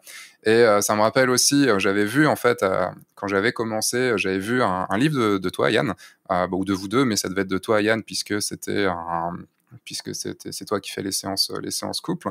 Et, et c'est vrai que j'avais trouvé ça. On reviendra sur l'évolution aussi, mais j'avais trouvé ça très très posé. Et on va revenir sur l'évolution, sur cette évolution-là, mais est-ce que vous avez le sentiment d'avoir un, style plus posé et moins vivant ou c'est comment vous le sentez. Parce que quand il y a préparation, des préparations avec les flashs, euh, où on met, euh, on doit bien placer les mariés, mettre le flash, être à la bonne heure, enfin tout ce genre de choses. Euh, voilà, c'est le ressenti que, j'ai euh, par rapport à ces photos-là. Est-ce que, est-ce que du coup vous êtes d'accord ou euh, ou c'est moi? Alors entièrement d'accord avec toi et euh, ça nous rassure que tu vois ça. D'accord. Euh, voilà. Pourquoi? C'est exactement le même principe que les fichiers ou livres. Euh, c'est que tout le monde en ce moment fait du lifestyle, fait euh, euh du style moody, fait euh, maintenant le style fine art, etc. Ah non, pas tout le monde. Ne me dis pas que je fais du style moody, s'il te plaît, je vais très mal le prendre. Hein. Ah, non, non, tout le monde a, a, a un style, euh, mais euh, ça peut être un style à la mode, euh, etc. Et quand je parle du moody, c'est qu'on a vu énormément de photographes se mettre au moody. Euh, là, on a, on voit le fine art arriver. voilà, nous en fait, on, on a notre évolution depuis, je sais plus quelle année, on a on a rencontré un photographe qui s'appelle Marcus Bell, qui qui est un photographe australien qui a été longtemps un de mes mentors et, euh, et voilà, c'est ça que j'aime, c'est ça qui me plaît.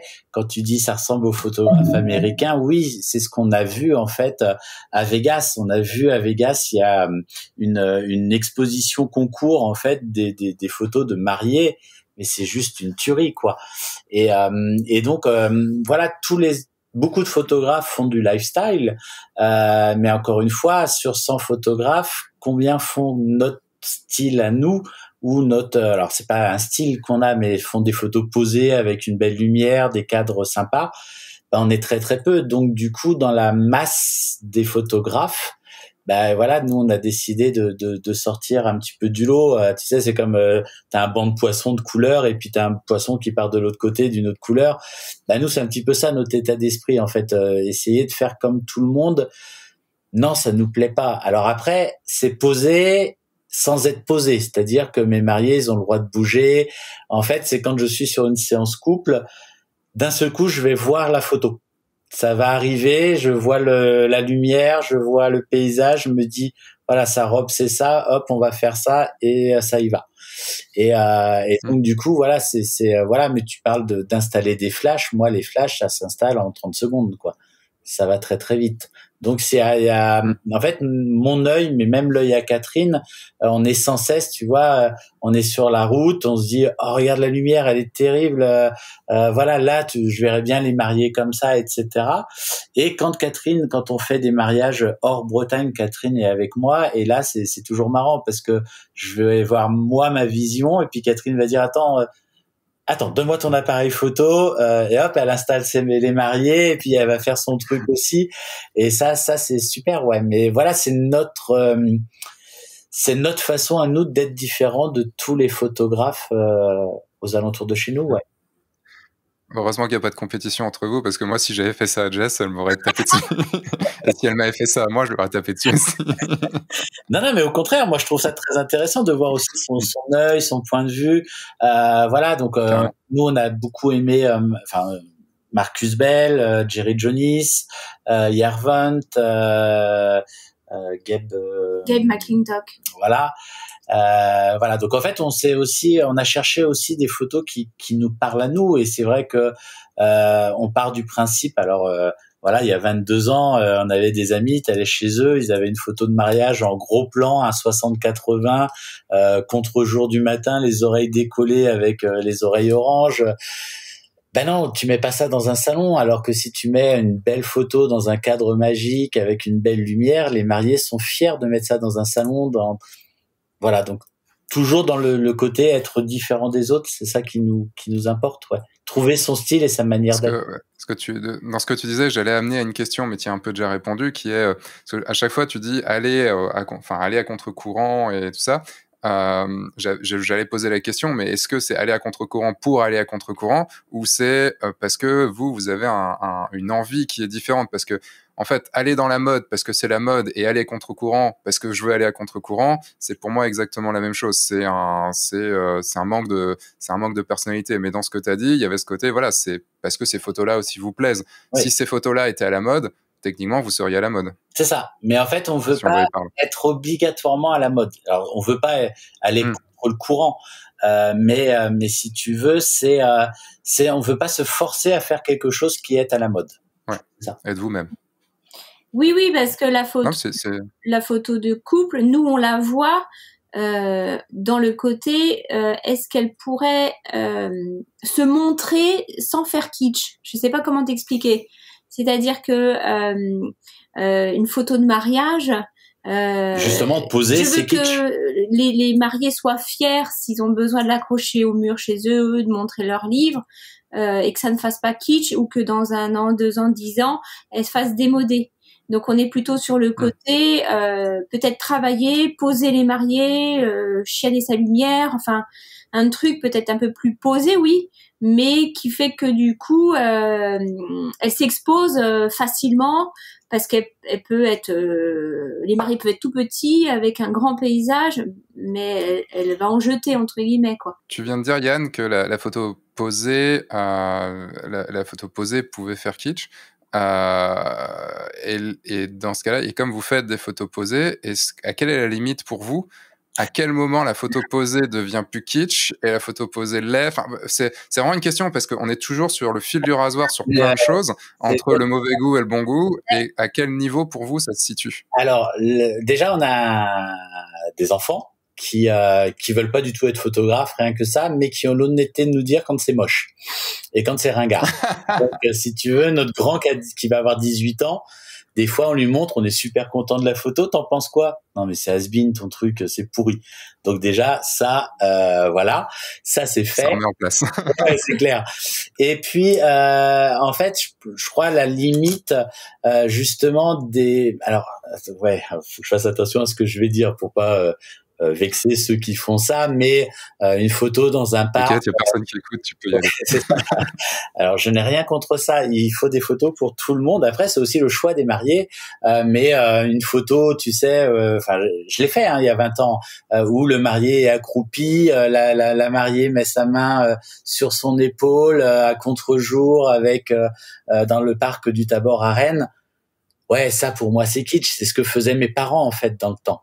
Euh, on se dit toujours voilà, euh, bah non, moi j'aime, en fait je, fais ce que j'aimerais avoir. Donc c'est là en fait, mais alors peut-être que pour beaucoup ce que nous on fait c'est kitsch, euh, mais euh, mais dans la gamme de mariés que nous avons, euh, dans notre dans les mariés qu'on touche, bah pour eux c'est exactement ce qu'ils veulent. On a vraiment des gens qui aiment, qui, qui souvent font de la photo, qui aiment la photo en fait. Ils savent ce qu'ils viennent chercher. Quelle a été l'évolution? Parce que c'est marrant, dans, la façon dont tu l'as dit, euh, je t'ai dit, j'avais vu un, de tes livres en, bah, en 2010 ou 2011, et euh, moi j'avais ressenti ça. J'avais ressenti ce, euh, tiens, tu te mets comme ça, tu poses, enfin, j'avais, ressenti ce, ce truc-là.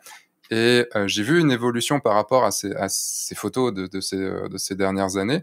Et j'ai eu l'impression, en voyant tout ça, parce qu'en fait, je me disais, quand j'ai entendu, euh, quand j'ai entendu votre nom, je dis non, ça peut pas être la même personne. Enfin, entre, le, entre les photos que j'avais vues et les, les, photos que je voyais maintenant, je faisais. Ça, ça, peut pas être vraiment la même personne. Je, dois me tromper. Pourtant, à Jean Z, il doit pas y avoir non plus 3 milliards de photographes, quoi. Et euh, comment vous avez vécu, enfin, comment vous avez fait cette évolution? Enfin, après, moi, j'ai vu, j'avais vu une séance photo, donc je peux pas dire que j'avais tout vu et tout ça, quoi. Mais euh, est-ce que vous avez senti vous une évolution dans, ce, dans, dans votre façon de faire, euh, dans, dans le passé du, parce que tu disais que bah, au tout début, tu avais fait, euh, tu avais aussi, euh, on revient tous sur nos premières photos, et moi aussi j'ai fait du kitsch au tout début, hein, je vois mes, mes, premières, mes premiers mariages, je fais, oh merde, j'ai fait ça. et le, enfin, comment est arrivée cette évolution euh, puisqu'en plus, en commençant en 99, il n'y avait pas non plus toute cette, euh, toute cette masse d'informations qu'on peut avoir, toute cette masse de photos, toutes ces, toutes ces remises en question qu'on peut avoir perpétuellement, voire peut-être trop, euh, tous les jours. Est-ce que vous avez senti cette évolution? Et si oui, comment, comment elle est arrivée et comment vous l'avez vécue? Alors moi, je vais répondre, et puis après toi, peut-être que Yann, tu vas répondre. moi, je me rappelle toujours que la toute première fois, quand Yann a fait son premier stage, c'était avec Luc Pouget. Oui. Donc ça remonte à, je dirais peut-être 20 ans. Avant 2009. Avant 2009. Euh, euh, il était revenu chamboulé suite à un stage parce que euh, Luc l'avait secoué entre guillemets en disant comment comment peut-on dans une même personne faire des photos merdiques? Aussi pourries aussi pourries faut le dire et aussi top. aussi top. Comment peut-on? Et Yann je me rappelle toujours était revenu de ce stage ça l'avait secoué vraiment secoué. Et donc il s'était dit bon là, euh, je vais faire une liste de tous les photographes que j'admire et dans les dix prochaines années, je vais aller voir ces photographes et je vais euh, me, former. Et tout doucement, euh, il a fait ses stages, il revenait et à chaque fois, il, il, il en prenait des claques. Hein. Mais j'ai vu une évolution tout doucement se faire, tout doucement. Après, il y a eu juste avant la WPPI où euh, j'avais vu, comme c'est moi qui traitais ces images, une lassitude dans ses poses. Il, il faisait poser ses mariés, mais comme j'avais dit, là, t'es devenu une machine. Il n'y a plus rien qui se dégage et je l'avais secoué en lui disant, fais quelque chose parce que là, tu es en train de te lasser. Donc, euh, la WPPI avait été un grand, enfin, ah un, un, grand brassage. Parce que du coup euh, ça l'avait mais remué en disant mais euh, oui euh, il y a encore possibilité de faire euh, des photos de couple sans que ça devienne kitsch. Parce que là il était devenu presque au bord du kitsch à cette année-là. Et donc du coup ça l'avait secoué. Et ensuite j'ai revu une révolution encore une évolution une évolution. Et puis oui je crois que c'est en faisant des stages avec d'autres photographes que euh, il, tu te remets en question et tu t'appuies sur le, là où ça fait mal en disant i i là c'est pas bien là là en fait je pense bien. je pense que ce qui est le plus important c'est de pas rester euh, tout seul euh, faut oser montrer ces images à, à, à d'autres photographes et, euh, et d'accepter. Hein, si on nous dit c'est pourri, c'est pourri, quoi. C'est euh, ok. Euh, tu connais le, le, portraitiste de France, donc on l'a fait plusieurs années, etc. Euh, il y a une année, pourtant, on l'a eu, euh, je sais pas, trois, quatre fois à suivre. Et puis une année, je montre des photos à, à quatre photographes et ils me disent non mais c'est pourri. Euh, recommence quoi parce que euh, t'as rien. Et donc là bah tu, voilà tu te prends euh, ça bah tu te dis ok je vais aller m'améliorer je vais je vais regarder voilà. Et puis et puis entre temps bah voilà mes mariés avaient tout le temps la main dans la poche quand ils faisaient un bisou à la mariée par exemple ben on m'a dit bah ouais mais là il se gratte euh, voilà il se gratte pendant qu'il euh, pendant qu'il l'embrasse tu vois. Donc euh, donc tu vois j'écoute toujours euh, on a la chance d'avoir rencontré beaucoup de, de photographes et puis bah ouais on, on a Antti Karpinen par exemple qui m'a voilà qui m'a donné des, des des petits conseils en plus. On a Joao Carlo, on a on a vraiment plein de, photographes, euh, euh, voilà, qui, qui, osent nous dire attention là là là ce que tu es en train de faire, euh, ça va plus du tout, c'est trop posé, c'est kitsch, voilà, vas-y. Donc oui, il faut toujours trouver le le juste milieu entre les deux. Et nous, le, le, le entre guillemets lifestyle, c'est pas fait pour moi. Je sais pas diriger les mariés comme ça. Donc après, je pense qu'aussi c'est un état d'esprit. Euh, voilà, c'est c'est c'est quand on les mariés me disent ah j'ai envie de faire ça, j'ai envie de courir, sauter. Je leur dis non et puis ils insistent, ils insistent, je leur dis oui. Puis quand ils voient les photos à la vidéoprojection, ils font bon Yann il avait raison, hein, on va pas les prendre celles-là. Et, euh, et donc du coup voilà. Donc en fait, je pense aussi c'est le style qu'on monte, c'est ce que nos mariés veulent. Donc du coup c'est ça qui est important, ouais. Hmm. Alors, j'ai envie de nuancer ça parce que quand tu dis euh, le, ils ont envie de courir, ils ont envie de sauter et euh, le et en gros ils les prennent pas, ils prennent pas les photos à la fin.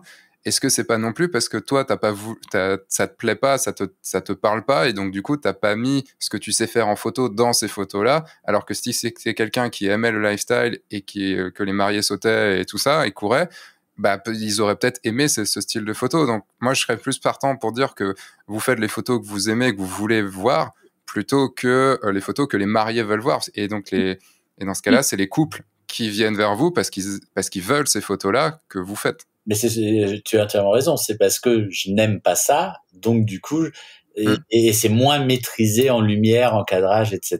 Donc, c'est pour ça. Ouais, tu, tu as raison. Ouais. Je pense que ça s'est entendu que quand j'ai commencé à, poser la question et tout, j'ai essayé de mettre le plus de pincettes possible pour, euh, pour euh, éviter euh, une troisième guerre mondiale.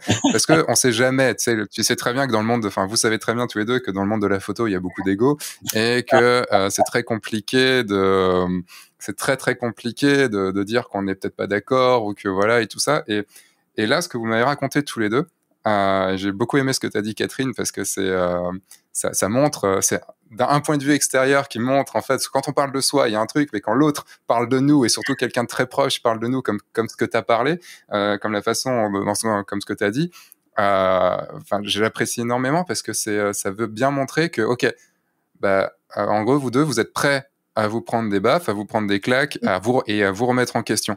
Parce qu'il y en a beaucoup qui sont pas prêts, qui en, qui en prennent, mais qui sont pas prêts à prendre des claques et, euh, et surtout pas à se remettre en question. Parce que en gros euh, non si tu es en train de dire que, que je fais du kitsch euh, bah te faire foutre quoi.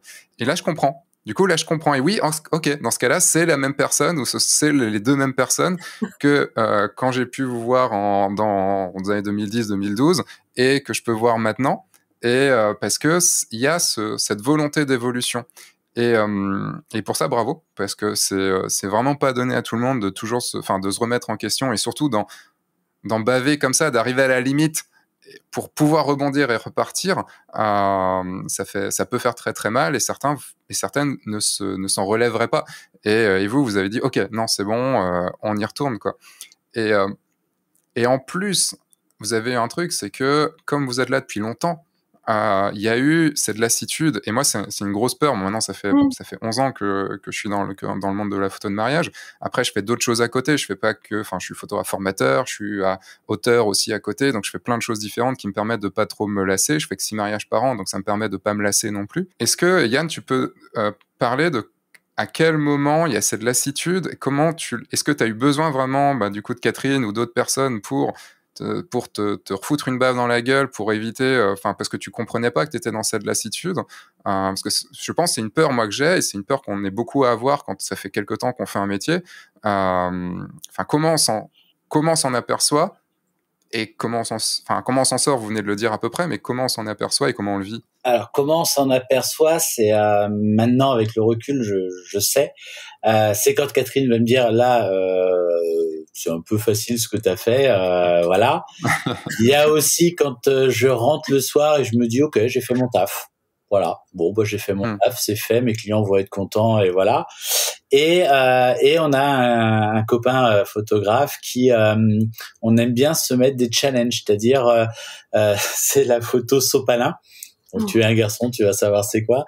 Euh, qui, euh, voilà, durant la prise de vue, euh, tu sais que tu as fait une photo de couple qui est juste waouh, magique. Et en fait, tout de suite, je, je dis à mes mariés, attendez, ça c'est une photo sopalin, il faut que je la monte à mon copain. je, je, je, lui, je fais, je prends mon iPhone, je fais le dos de l'appareil photo et, et je lui l'envoie. Et si lui, il est aussi en séance couple, eh ben, je lui dis, allez fais-moi mieux euh, pour ce soir. Et puis le soir quand on est euh, quand on rentre de nos séances on, s'appelle bon ok t'as fait mieux que moi ou j'ai fait mieux que toi. Et et, et, tu vois c'est des petits challenges c'est des petites choses comme ça. Euh, on a la chance d'avoir représenté l'équipe de France à la Coupe du Monde là de deux trois années consécutives. Ça aussi c'est un super challenge parce que du coup euh, bah tu te dis euh, voilà est-ce que l'année prochaine ils vont encore me faire confiance? Est-ce que je vais encore avoir une image euh, qui, qui, qui peut encore représenter l'équipe de France? Alors sans ego parce que euh, voilà si je l'ai pas bah c'est c'est c'est qu'il y avait meilleur que moi cette année-là tu vois. Donc donc je pense que c'est c'est comme ça qu'on arrive pour y avoir été pour y avoir été une année, euh, j'ai pas trop trop compris. On m'a sélectionné une photo, j'ai pas trop compris pourquoi c'était cette photo-là qui, que quand j'ai vu les photos qui étaient présentées, je dis mais non mais cette photo-là, enfin il y en a d'autres que j'ai faites qui ont largement plus de chance. Cette photo-là, enfin je sais que je vais pas gagner, enfin c'est mort. Enfin là vous avez choisi la pire photo du monde pour pouvoir euh, pour pouvoir participer. Donc c'est pas évident. Je pense que ce concours-là, il, est pas. c'est autre chose. Ça me permet de, me mettre des objectifs, de me dire, euh, tu vois, cet été, on doit aller faire euh, une séance euh, sur la dune du Pilat. Euh, bah j'ai déjà mon idée de photo en tête. Je la veux avec la lumière du soir. Je veux une partie à l'ombre, une partie avec la lumière chaude du soleil. Euh, ça y est, elle est dans ma tête. Hmm. Donc maintenant, euh, il va falloir que je me challenge pour la faire. Quand on a été en Islande euh, faire un mariage, en fait, c'est j'avais toujours vu plein de photographes de mariage en Islande, mais qui faisaient souvent des photos sombres, un peu moody, etc. Euh, et je m'étais dit, bah ouais, moi j'adore les paysages d'Islande. Par contre, c'est pas du tout mon style. Donc, est-ce que je vais réussir à mettre notre style en Islande? Eh bien, on a réussi. On a eu de la chance parce qu'on a eu euh, pas mal de, de lumière. Mais euh, donc voilà, en fait, on se met des challenges à se dire euh, voilà, il faut que je, je, progresse, il faut que je me fasse plaisir, il faut. Et puis aussi, il y a aussi une autre chose euh, qui, euh, en fait, on implique beaucoup nos mariés à nous trouver des nouveaux lieux. Et donc du coup, euh, il y a par exemple une, une image qui est faite euh, euh dans les réserves d'eau de Rennes. Donc euh, c'est pas un château d'eau à Rennes, c'est tout est sous terre, donc c'est des voûtes, etc. Et en fait, le marié a demandé six fois six autorisations pour faire vider toute l'eau, tu vois. Donc tu arrives là-dedans, c'est juste un endroit de ouf. Et là, tu dis bah ouais, j'ai pas terre à me foirer. Donc là, il va falloir que je sois fort et que euh, voilà. Et bah là, là, le, niveau, tu... voilà. Donc c'est vrai qu'avec Catherine, c'est un petit peu l'idée, c'est de se dire euh, voilà, le soir, je rentre, j'ai à Catherine, euh, regarde, j'ai fait cette super image, qu'est-ce que t'en penses? Puis elle va me dire clairement, c'est top ou ouais, ouais, ouais. mieux, quoi. Il faut, que je, il faut que je me rebouge pour la séance d'après, mais c'est ça qui est cool. Après, ça permet de, par rapport à la lassitude, de, du coup, euh, se donner des petits challenges, ça permet de justement de se remettre un petit peu tous les ans des petits objectifs. Et puis, euh, mm. comme toi, on ne fait pas que du mariage. Donc, euh, l'avantage d'avoir notre studio, c'est que ce que tu disais au départ, Yann, mm. on est content quand la saison mariage arrive l'excitation de reprendre euh, les mariés en avril, euh, tout ça. Et, mais aussi, on est content quand la saison se termine. parce qu'on sait qu'on va passer à, autre chose. Donc si on faisait, je pense, uniquement que que du mariage, je suis pas sûre. Je sais pas, je sais pas. Je pense qu'on se lasserait encore plus vite. Ouais. Après, il peut y avoir aussi de l'autre côté, enfin, le fait que vous fassiez plus d'une centaine de séances famille, euh, même si c'est euh, entre enfants, grossesse, euh, famille, portrait, tout ça, enfin, ça reste quand même plus d'une centaine. Enfin, ça fait quand même beaucoup aussi, donc il peut y avoir aussi une lassitude. Là, tu vois, là, on a beaucoup de demandes. Alors, je pense que c'est l'effet aussi Covid, mais des séances en extérieur. Donc, euh, bah, dimanche, on était à, euh, sur la plage à Saint-Lunaire. Euh, la semaine prochaine, on sera dans un château. La semaine d'après, on sera au studio. La semaine d'après, on sera le long d'une rivière.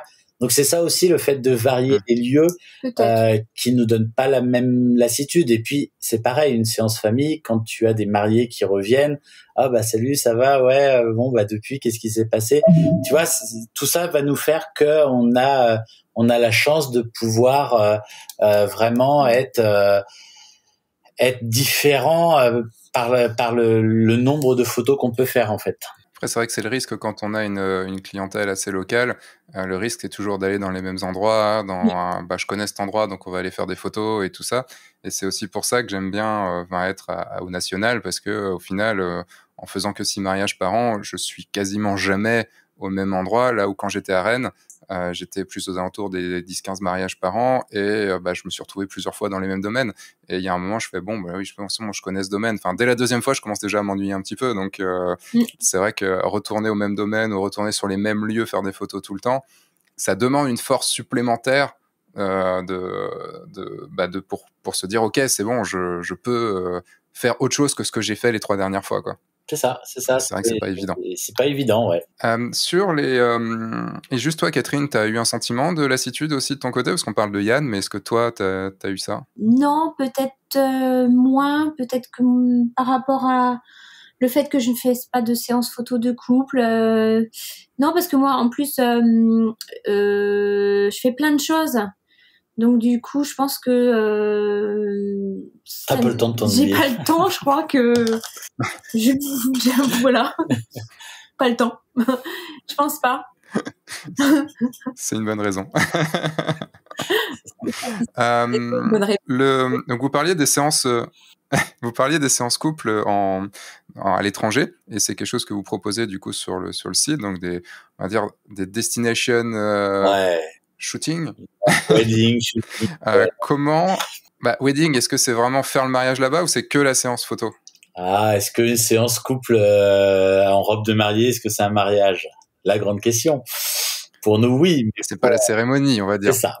non, non, tout à fait. On comprend ce que tu dis. Et comment, pour, pourquoi et surtout comment euh, parce que c'est des choses aussi que j'ai pu faire et que j'adore.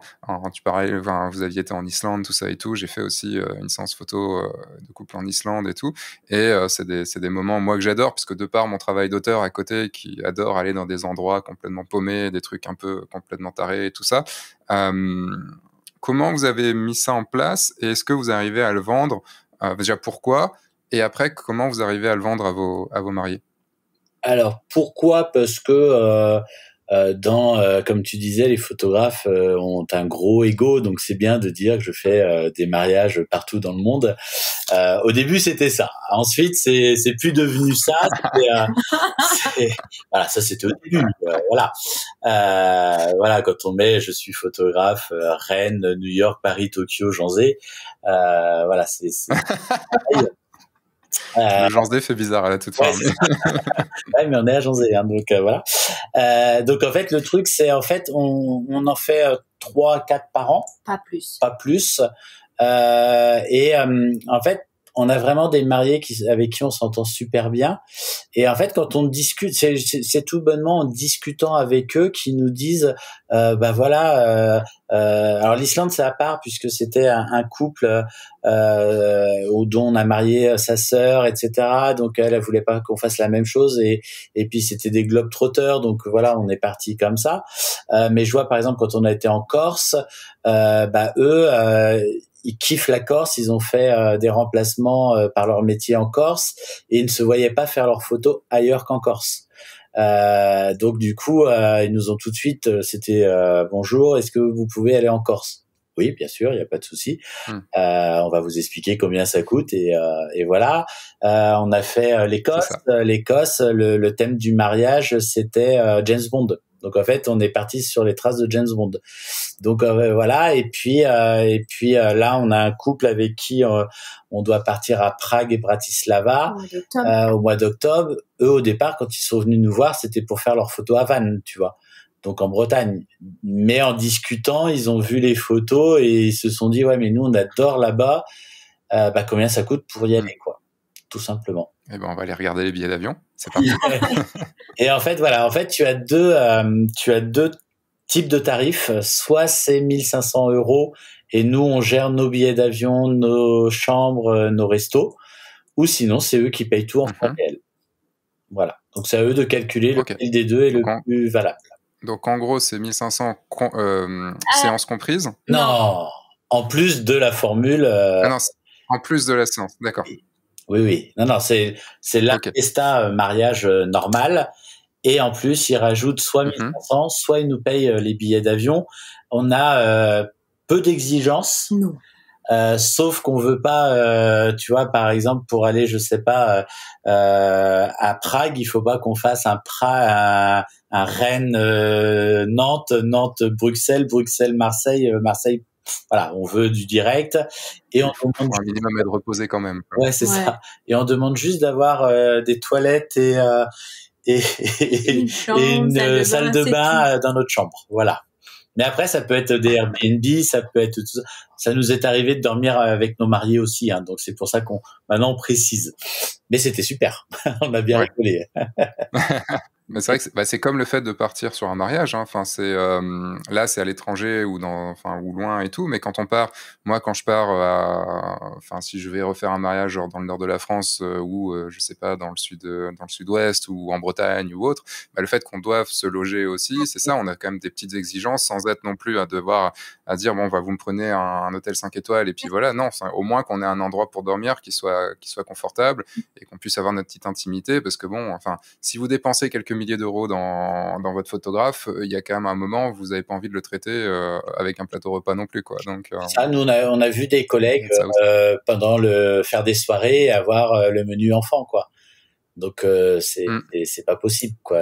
Non, tu, tu fais la soirée, tu dois manger comme comme les mariés quoi. C'est logique.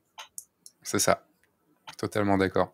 J'ai prévu une vidéo bien, bientôt là-dessus parce que c'est euh, beaucoup de gens pensent, euh, pensent encore que non, bah, un sandwich euh, dans le dans l'arrière dans l'arrière cour, ça, ça c'est déjà pas mal.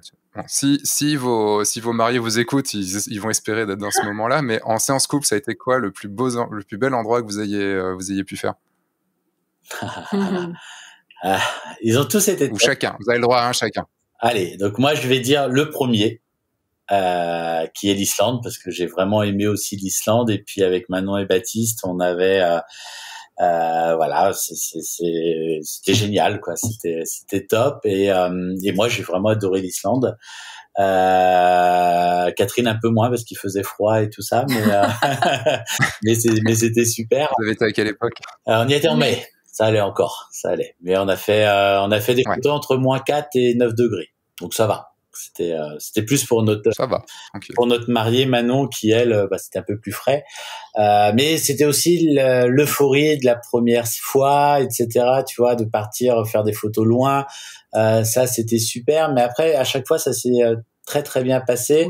Et toi je pense que ça va être alors, ah, ça se tient, c'est sur la corde quand même. Mais la Corse, j'ai beaucoup aimé. Alors, euh, je, je sais pas, j'avais un a priori sur la Corse. Je pensais que c'était bon, c'était bof, très bof. Et, et, je ne pensais pas. Je suis désolé pour tous les Corses qui nous écoutent. désolé. désolé. Non, je, je, Mais elle a changé d'avis. Je pensais que la Bretagne était quand même un peu au-dessus, mais bon. Euh... Ah oui, non, mais ça, ça, la Bretagne est au-dessus de, beaucoup de choses, hein, de toute façon. Donc, euh, j'ai du mal avec l'Islande. Je sais pas si tu es, tu vois, mon, mon cœur balance tellement, mon cœur de Breton balance tellement que euh, l'Islande, je la mets quand même au-dessus. Mais, euh, mais j'ai rien dit. Je les Bretons m'en voulaient pas. Je te rejoins. Non, j'ai eu un coup de cœur sur les paysages. Je pensais pas que sur euh, euh, cette île-là, il y avait autant de paysages euh, variés, éclectiques. Hein. et donc, hmm. ça a été une, belle surprise. Nos, nos, séances, en fait, durent trois jours. C'est-à-dire qu'en trois jours, on a fait le tour de la Corse. Donc quasiment tout. On a fait de la montagne, de la mer, du coucher de soleil, du lever de soleil à 6 heures du matin, on a fait vraiment et puis après c'est pareil c'est les c'est les soirées qu'on passe avec nos mariés etc donc c'est c'est dur de, de nous dire quelle est euh, celle qu'on préfère mm. quoi. C'est euh, non non l'Écosse c'était génial parce que euh, c'était tout un peu à l'arrache donc on a on a bien rigolé. Donc à chaque fois non à chaque fois c'est Ouais, puis les mariés avec qui on part sont à chaque fois super cool. Alors comme nos mariés avec qui on part en Bretagne, mais mais voilà, là on parle de destination, tout c'était bien. C'était et c'est aussi le fait qu'on en fasse ah, 10 par an quoi, tu vois. Il faut aussi que ça reste euh, mm. voilà, dans le côté euh, c'est génial, on s'amuse et on fait ça quoi. Ça prend du temps quand même aussi, hein. parce que même trois jours, euh, trois jours, ne serait-ce que trois jours fois quatre, le temps d'y aller et de revenir aussi, ça. fait une semaine. Fait tout de suite. C'est ça. Ça fait une, bah, ça fait une semaine, ouais, donc fois 4, ça fait, ça vous fait un mois déjà de, de prix, quoi. Donc, c'est parti, quoi. Tout à fait, ouais, tout à fait. C'est vraiment euh, des, des, des, des, moments, euh, voilà, c'est pour ça que Catherine vient toujours avec moi parce que bah, c'est sympa, mais, mais ça prend du temps. Mais c'est aussi, bah, tu vois, dans la, dans la motivation, bah, c'est un nouveau challenge, aller chercher des nouveautés, des, se dire, bah là, je connais pas du tout le lieu, comment je vais faire, euh, par exemple, la photo en Islande sur l'avion. Donc tout le monde l'a faite cette photo et en fait la plupart des photos que j'avais vues, c'était dans l'autre sens. On voyait pas qu'il y avait des montagnes derrière, mm. en fait. C'était plutôt côté mer, tu vois. Et moi, quand je suis arrivé, j'ai dit, mais non, c'est moi, c'est les montagnes qui me plaisent. Donc, euh, du coup, euh, tu vois, c'est arrivé sur un lieu que tu connais pas, et là, tu te dis, euh, ouais, faut, faut que j'assure quand même, faut que je sois efficace. Et, et ça, c'est cool, ouais. Donc dans la motivation, c'est génial. carrément. Il faudrait que je vous envoie. J'ai fait, j'ai fait une vidéo sur le guide du photographe de mariage sur ma séance en Islande. Et, alors c'était sur la péninsule de Snæfellsnes, donc c'était un peu plus haut que, que Reykjavik, mais euh, c'était pas dans, dans, le triangle d'or. Mais euh, voilà, c'était juste une journée absolument. Euh, mm. les, les, mariés, on pouvait plus à la fin parce que j'étais là, j'étais ouais mais là-bas il faut qu'on y aille, ouais mais là-bas il faut qu'on y aille, ouais mais là-bas il faut qu'on faut qu'on y aille. oui, mais c'est l'Islande, c'est normal. Non, non, c'est vraiment un endroit magique. Et nous, tu vois, on avait, un moment de temps, on était avec les voitures, on savait pas s'il fallait prendre à droite, à gauche. On a pris à gauche, on est monté tout en haut de la montagne, coucher de soleil. la neige. moi, je me dis, la mariée, il fait moins 4, elle va jamais vouloir sortir. C'est elle qui m'appelle, qui me dit, stop, on arrête la voiture, on sort, c'est juste. Ouais, c'était top, ouais. C'est magique. Carrément. Ma dernière question que je voulais vous poser, enfin j'en ai encore d'autres, hein, mais on va, je, vois le temps tourner aussi, et donc on va arriver sur la dernière qui est le, ce que vous appelez une photo wow. C'est quoi une photo wow Ah, alors. Ah, c'est une euh, photo pas kitsch. c'est juste ça? C'est une photo. Parce que dans ce cas-là, il y a quand même beaucoup de photos qui ne le sont pas. Ouais, non, pour moi, l'effet wow, euh, c'est quoi? C'est un endroit qui parle aux mariés, une pose pas kitsch, une pose simple, efficace, un décor donc magique et une belle lumière et quelque chose qu'on est fier de pouvoir mettre chez soi qu'on est fier de montrer à tout le monde, que dans 5 ans, 10 ans, 15 ans, 20 ans, 50 ans, on se dise Ouais, t'as vu ma photo, elle est top celle-là. Pareil pour toi, Catherine? Oui, il y a ça. Et hum, pour illustrer, euh, c'est quand on avait fait la conférence avec Marcus Bell. Euh, où là, le, pour moi, l'effet wa, c'est euh, quand j'avais vu le diaporama de Marcus j'ai ma mâchoire qui, qui, était restée en en mode mais dire mais comment peut-on euh, comment peut-on sortir des images comme ça? Je crois que ça m'avait bousculé dans le côté où euh, on peut produire des images euh, avec des effets comme ça. Donc pourquoi nous on n'essayerait pas de le faire? Euh, c'est c'est le côté où euh, ouais c'est ça tu tu regardes une photo tu waouh elle est waouh elle est pas comme comme on voit partout. C'est ça, je pense, c'est peut-être ça. Mais tu peux faire aussi une, photo euh, euh, wow sur un reportage. Euh, il y a beaucoup de photographes qui te font des photos de reportage du jour J. Oui. nous, on est waouh, c'est c'est c'est juste magique. Voilà, c'est c'est. Mais nous, c'est pas nous, on est plus on est plus simple. On fait pas du photojournalisme, donc du coup, en fait pour moi, c'était euh, je photographie ce que je vois. Entre temps, on a un petit peu changé euh, sur ça, où on peut améliorer un petit peu, mets-toi un peu par là, etc.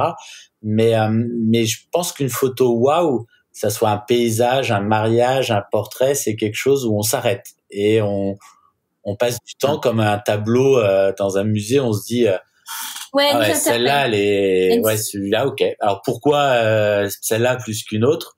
Mais pour nous, c'est ça l'effet waouh. Hmm. Est-ce que c'est ce qu'on pourrait ramener ça à de la photo sopalin? C'est ça, exactement. c'est à peu près ça. Tu as bien compris, tu nous as bien cerné. Dans, quand vous parliez de, de, de, photos wow, pour moi, wow, c'était, euh, pour moi, c'est pas des photos wow, euh, mais je comprends que pour vous ça le soit et que pour d'autres personnes ça le soit. Après, voilà, on a nos, on va dire, on a nos, tous nos, mm nos waouh. On, on, va Huawei devant certains et Huawei pas devant d'autres. Euh, moi, par exemple, quand j'avais fait cette photo-là, euh, là, voilà, ça c'était ma photo sopalin totalement. Euh, et c'est pas parce qu'il y a une fille nue dessus, hein, c'est parce que c'est le moment on la voit quasi pas. Là, enfin, c'était mon moment waouh. On, on le voit pas trop, mais juste au-dessus, il y a une photo qui était prise en Islande aussi où c'était, euh, ça fait partie de mes photos waouh. Euh, si je devais définir pour ce que je vois de votre travail euh, pour les photos waouh, c'est vraiment le côté grosse lumière, euh, composition graphique, des couleurs et, euh, un style vraiment, enfin un côté très posé qui euh, où on sent que c'est plus, ça se rapproche peut-être plus des tableaux que des, on dire que des photos prises sur le vif. Et, le, c'est vrai que dans un mariage, pour moi, une photo wow va être, comme tu le disais, un moment où la mariée éclate de rire, où il y a tout le monde qui est autour, où il y a des gens qui sautent, des trucs comme ça, où où en tant que photographe, j'ai réussi à choper le bon moment, le, dixième de seconde, le centième de seconde où c'était bon, où j'étais juste placé au bon endroit. Enfin, tu vois, il y a, y a ce truc-là. Là où, euh, pour vous, j'ai l'impression que c'est quand même plus c'est comme c'est plus posé, c'est plus préparé, c'est plus tout ça. On est plus sur de la mise en scène, euh, puisqu'on a le temps. On a le temps de la faire. Enfin, on a le temps. Quand je dis on a le temps, euh, quand la lumière baisse et qu'on n'a pas le temps et tout ça, euh, ça c'est une autre histoire, hein, bien sûr. ça se joue toujours à quelques secondes près et tout, mais on, va plus mettre les choses en place. C'est pas genre prendre en photo, trouver un, moment où il y a tout qui se met en place tout seul. Euh, et d'être au bon endroit au bon moment. Alors que là, nous, on va plutôt dire, toi, tu vas par là, tu te mets comme ça, tu fais ci, tu fais ça, et d'aller très vite pour avoir cette photo-là c'est vraiment des, photos qui sont différentes. Et, ce qui est, assez drôle, c'est que dans ce cas-là, moi, dans mon travail d'auteur, j'ai plutôt euh, ce côté, on va poser les choses, on va poser, on va, attendre le bon moment, trouver le bon lieu et tout ça. Mm. Alors que sur le côté mariage, je suis beaucoup plus sur le reportage, euh, sur l'effet waouh du moment. Je sais pas où je voulais en venir avec tout ça. Je n'arrive pas à repartir sur une question. en, tout cas, on, est d'accord avec toi. L'effet waouh peut être tellement euh, large. C'est c'est une interprétation. C'est nous, c'est notre mm. vision, ça c'est la tienne, ça c'est celle de Yann et et ouais, l'effet waouh peut être dans plein d'endroits différents, aussi bien sur du reportage que sur de la photo de couple. Oui. Et, après, on va dire par euh, par fainéantise, euh, comme on est un tout petit peu plus connu sur ces styles d'images-là, euh, bah c'est vrai qu'on met pas beaucoup de photos de reportage qui sont euh, super avec de l'émotion, etc. Euh, ce qui est un, un tort, je pense. Euh, mais on n'est pas très très bon sur la com en fait. Voilà, on, on, on, se, on se laisse toujours aller. pas ce que j'ai vu, mais. Bah, sur la com, on n'est pas. sur les réseaux sociaux, vous avez l'air quand même assez, assez présent quand même. Hein. Pas, pas assez, hein, mais euh... en fait c'est cyclique. Il y a des fois on va être à fond, puis il y a des fois euh, on va plus être du tout, euh, du tout dessus. Euh, ça dépend de notre charge de travail en fait. Là actuellement on publie plus trop rien, on fait quelques vidéos, mais c'est voilà, c'est c'est euh, mais euh, je reviens à ce que disait Catherine, l'effet waouh. On en, on en revient à, à Marcus Bell quand il nous avait mis un diaporama. C'était très rythmé un ACDC, tu vois, euh, c'est quoi, L2Bell ou un truc comme ça, et tu te dis comment on peut voir sur une chanson de trois minutes un truc qui sur du hard rock, et, et, en fait on était mais tous cochés dans nos sièges. Ah, personne pouvait dire un mot, personne pouvait, tu t'en es pris plein la tronche et là tu fais. Waouh, là c'était c'était terrible. Et aussi du reportage que sur de la session couple et euh, il avait envoyé quoi. Donc euh, Hmm. Ouais. En fait, on a ce. On a... Attends, c'était l'endroit pour envoyer. Ouais, on a essayé, nous, euh, tu veux, quand je rencontre mes futurs mariés, euh, je leur montre toujours un diaporama comme ça, euh, très rythmé, qui envoie beaucoup d'images et, euh, et, et, comme ça, ils voient aussi bien du couple et du reportage jour J. Euh, et comme ça, ils voient le tout. Et, et le but, c'est ça, c'est qu'ils se disent. ah ouais, putain, ça, ça, ça, ça, va être notre photographe parce qu'il arrive à faire tout ça, ouais. Je fais encore mon avocat du diable, hein, mais comme on, va sélectionner enfin les, photos qu'on préfère de tous les mariages qu'on a pu faire, enfin les photos waouh, tout ça et tout, euh, est-ce qu'il n'y a pas un risque de déception derrière de se dire bon, bah, sachant que on va être honnête, on peut pas si on fait déjà une ou deux photos waouh dans un enfin dans un mariage. Quand je dis vraiment waouh, c'est vraiment vraiment waouh. Déjà si on en fait une, on est content. Euh, si on en fait cinq, c'est exceptionnel. Euh, après, on, on, va en faire une quinze vingtaine de, de photos waouh mais pas waouh.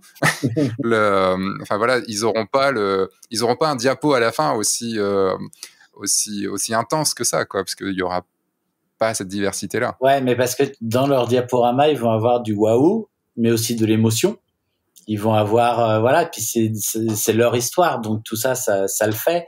Et quand ils viennent nous rencontrer en fait mm. j'ai euh, je sais pas combien on a de livres photos euh, euh qu'on a livrés à nos mariés en fait.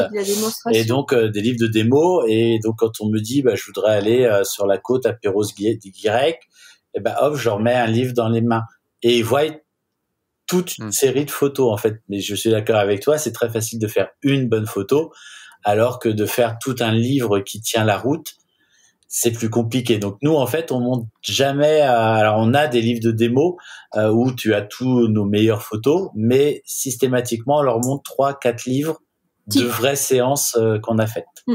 C'est, euh, je, je, trouve très honnête parce que c'est vrai qu'on a tendance à montrer notre meilleur et, euh, et pas montrer aussi qu'au final le vrai c'est pas que notre meilleur c'est aussi bah, mm.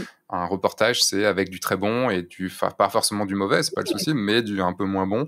Et, euh, c'est euh, pour que ça reste bon pour que ça reste très bon bah, il faut qu'il y ait du très très bon mais il y a aussi du bon. Et euh, ça va je pense que ce qui est important avec les mariés c'est de pas leur mentir de pas leur promettre des choses euh, euh, voilà, moi je les préviens toujours qu'un cocktail c'est sympa à photographier si c'est dehors avec une belle lumière, etc. S'il pleut, ils sont tous dans une toute petite salle, bah ça va être moins sympa. Donc du coup, euh, voilà, donc en, leur expliquant que euh, bah ouais, si la pièce où on va faire l'habillage c'est rangé, c'est propre, etc. Ou si on fait, Catherine a eu le cas d'une photo, un habillage de la mariée dans la chambre de la petite fille qui est toute rose Barbie c'est pas pareil, tu vois. Donc euh, du coup, il faut aussi les, les, préparer à ça, leur dire bah voilà, si vous voulez avoir des belles photos, bah voilà, on va travailler ensemble pour le faire, ouais. Euh, je vais arriver sur les trois dernières questions euh, du podcast. Il y aura encore plein de sujets qu'on pourrait aborder, mais on, on, va arriver sur ces trois. Et puis il va falloir que vous réouvriez quand même le studio à un moment, parce que je suis sûr qu'il y a plein de gens à la porte qui, ouais, mais on aime qui bien, sont en train d'attendre. On aime bien quand on voit que en fait. les autres commerçants disent. C'est comme pour la sortie. C'est comme pour la sortie du, euh, du, des nouveaux des nouveaux iPhones quoi. Il faut qu'il y ait, euh, si devant mon studio il n'y a pas une queue de 250 personnes, ça vaut pas le coup quoi. C'est ça. C'est ça. Euh, donc les trois dernières questions que je pose habituellement, c'est, euh, mais vous allez pouvoir répondre chacun, euh, chacun votre tour, puisque je pense que ça va pas être la même chose pour vous deux. Sauf peut-être la dernière question. Tout d'abord, quel est votre objectif préféré? En... Parce qu'on n'a pas parlé matos, tout ça, mais quel est votre objectif préféré, celui avec lequel vous aimez le plus shooter? Attends, je laisse parler. Catherine est désemparée. oui, parce que Catherine et la technique, elle sait pas. Euh, moi, je suis une feignante. Euh, ouais. voilà. Ouais, tu sais quand même euh, que si tu as un 50 mm ou un 24 mm ou, ou autre quand même. Et, et, après, il y a un 70-200. Non, Catherine, en fait, nous, nous ne mais, travaillons pas en focal fixe. Mais je suis une feignante. Donc. Euh...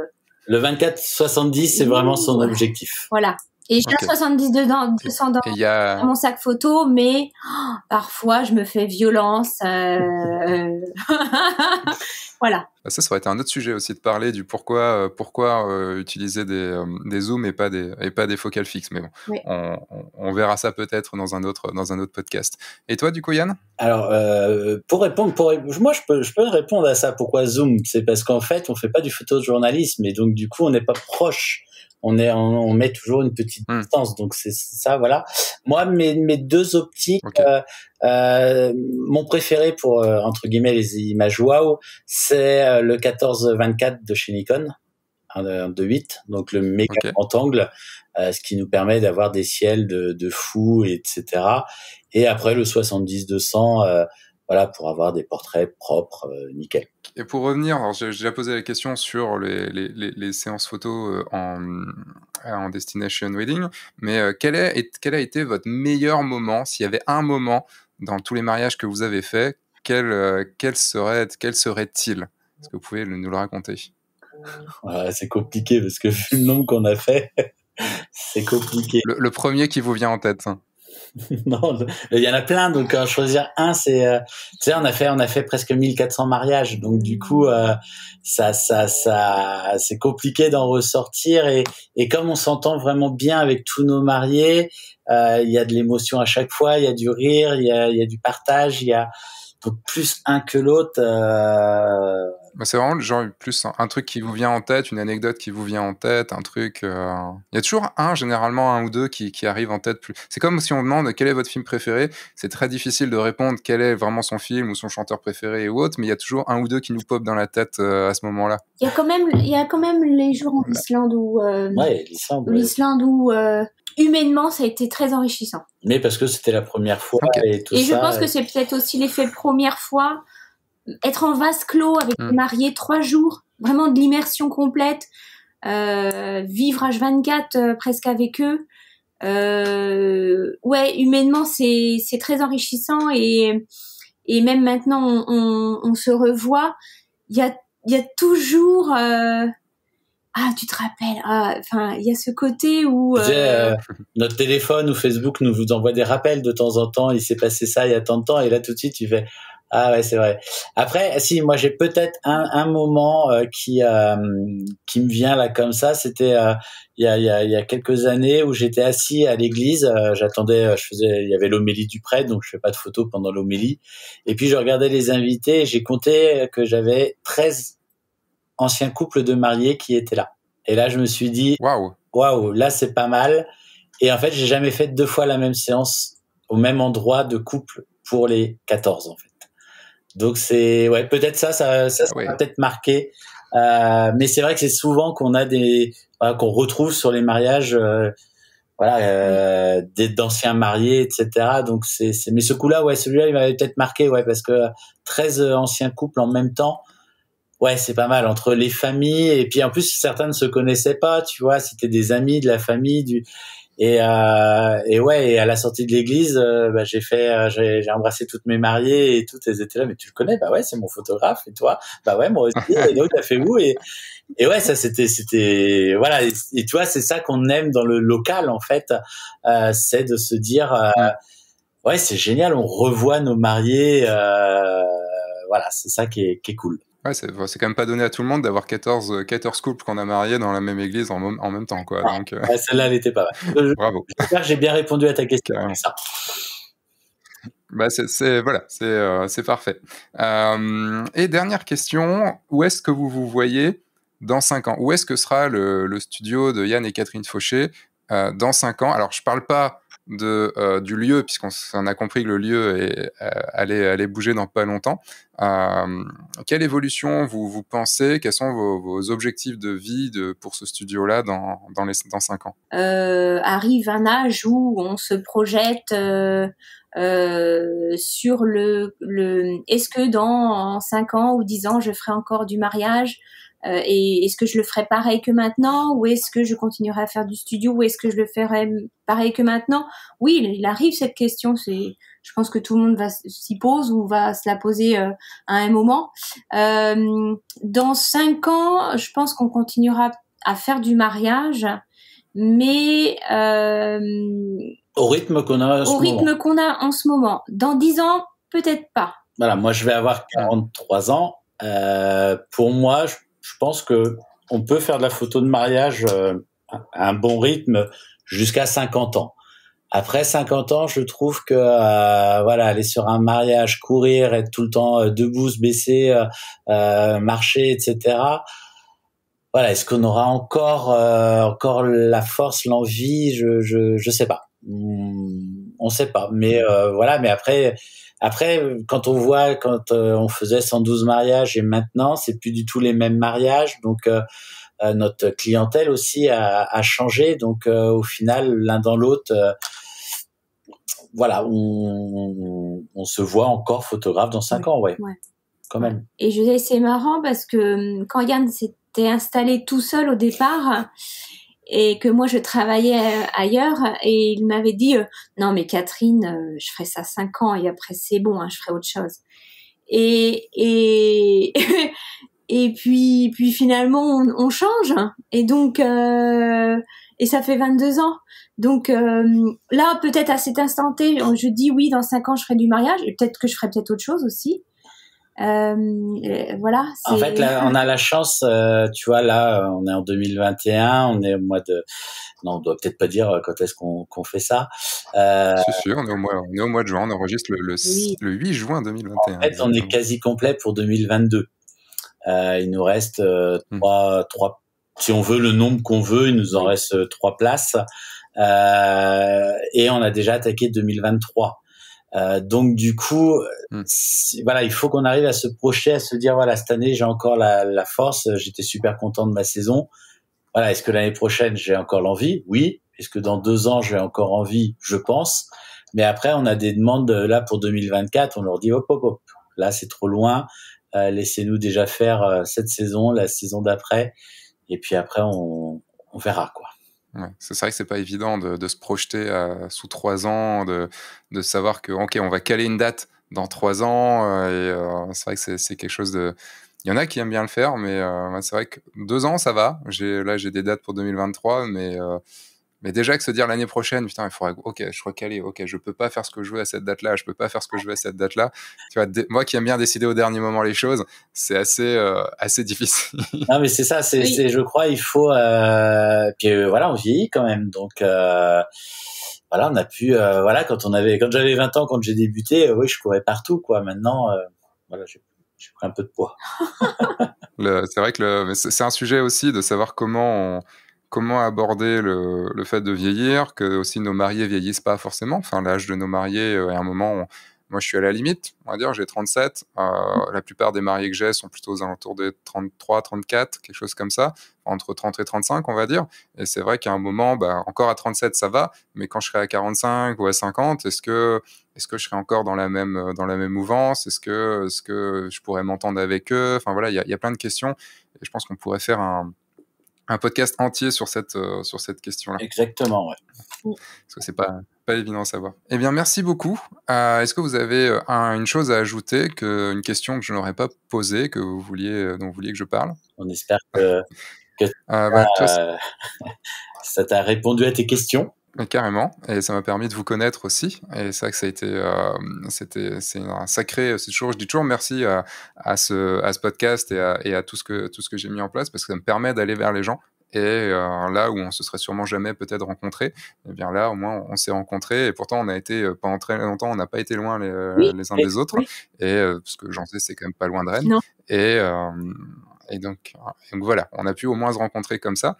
je vais faire ma petite outro. Euh, les liens, je les liens pour, euh, pour vous retrouver. Donc sur, euh, est-ce qu'il y a un endroit, un réseau social que vous préférez pour vous retrouver? Non, il y a soit le Facebook, soit l'Insta, voilà. Donc Facebook ou Insta, les liens sont dans la description. Il y a aussi le site du studio qui est qui est dans la dans la description. Et moi, je suis désolé, je suis quand même obligé de le faire. J'espère que dans cinq ans, vous ne serez pas le, un studio qui est fauché. Voilà, il fallait que je le dise pour terminer ce, podcast. Tout à fait. Nous aussi, on espère bien, ouais. Parce que, en fait, il y, y, a des blagues, euh, des jeux de mots qui sont tellement évidents que tu sais, tu dis non, je vais pas le faire, je vais pas le faire, mais en fait, ça te bouillonne, ça bouillonne à l'intérieur et tu es obligé de le faire, sinon tu te sens mal. Quoi. on a l'habitude de celui-là. Mais euh, voilà, c'est, euh, on assume, hein, tu sais, on aurait pu s'appeler euh, studio, euh, je sais pas quoi. Euh, voilà, on assume notre nom et et, nous ça nous fait. Au moins, on se souvient. Ouais. Voilà, c'est plus facile. Bah, après, vous, après, vous pouvez faire des blagues aussi. Quand, quand, vous augmentez vos prix, vous pouvez dire que les mariés après seront fauchés, mais ça, ça, permet de quand même. Ouais, ouais non, non, mais voilà, ça, ça, ça, non, ça va. On a l'habitude. ouais, mais, je trouve qu'on s'en rappelle. C'est ça qui est cool dans ce genre de, avec ce genre de nom qui, qui peut faire, euh, qui peut faire des blagues. On, on s'en rappelle et, euh, et c'est toujours marketingment parlant très bien qu'on puisse se rappeler de, se rappeler de soi. Non, non, Surtout quand on a de la dérision. C'est ça. Non, non, après, je sais pas, après, tu voulais, euh, tout à l'heure, tu m'avais parlé de tarifs ou choses comme ça, on n'en a pas parlé, est-ce que c'est... ouais, bah... Il y a peut-être pas... Là, j'aurais pu, mais on est déjà à deux heures et, on va dire que c'est déjà... Enfin, je mets, je mets une limite sur deux heures et parce qu'après après, ça commence à être long et puis et au pire, il y aura un deuxième podcast un jour, on pourra en discuter aussi. Je peux pas, je sais que je peux pas aborder tout, c'est toujours frustrant, mais en même temps, voilà, ça laisse aussi. Euh, on est parti sur des sujets où je pensais pas qu'on allait aussi loin là-dessus, puis d'autres on est passé un peu plus vite. Enfin voilà, c'est euh, mhm. ça qui est cool aussi. Dans, tout à fait. Dans les podcasts. Bon, pas de problème. Euh, et eh ben merci, merci à vous deux. Et on va quand même clôturer ce podcast bien comme il faut, même si on coupait juste avant.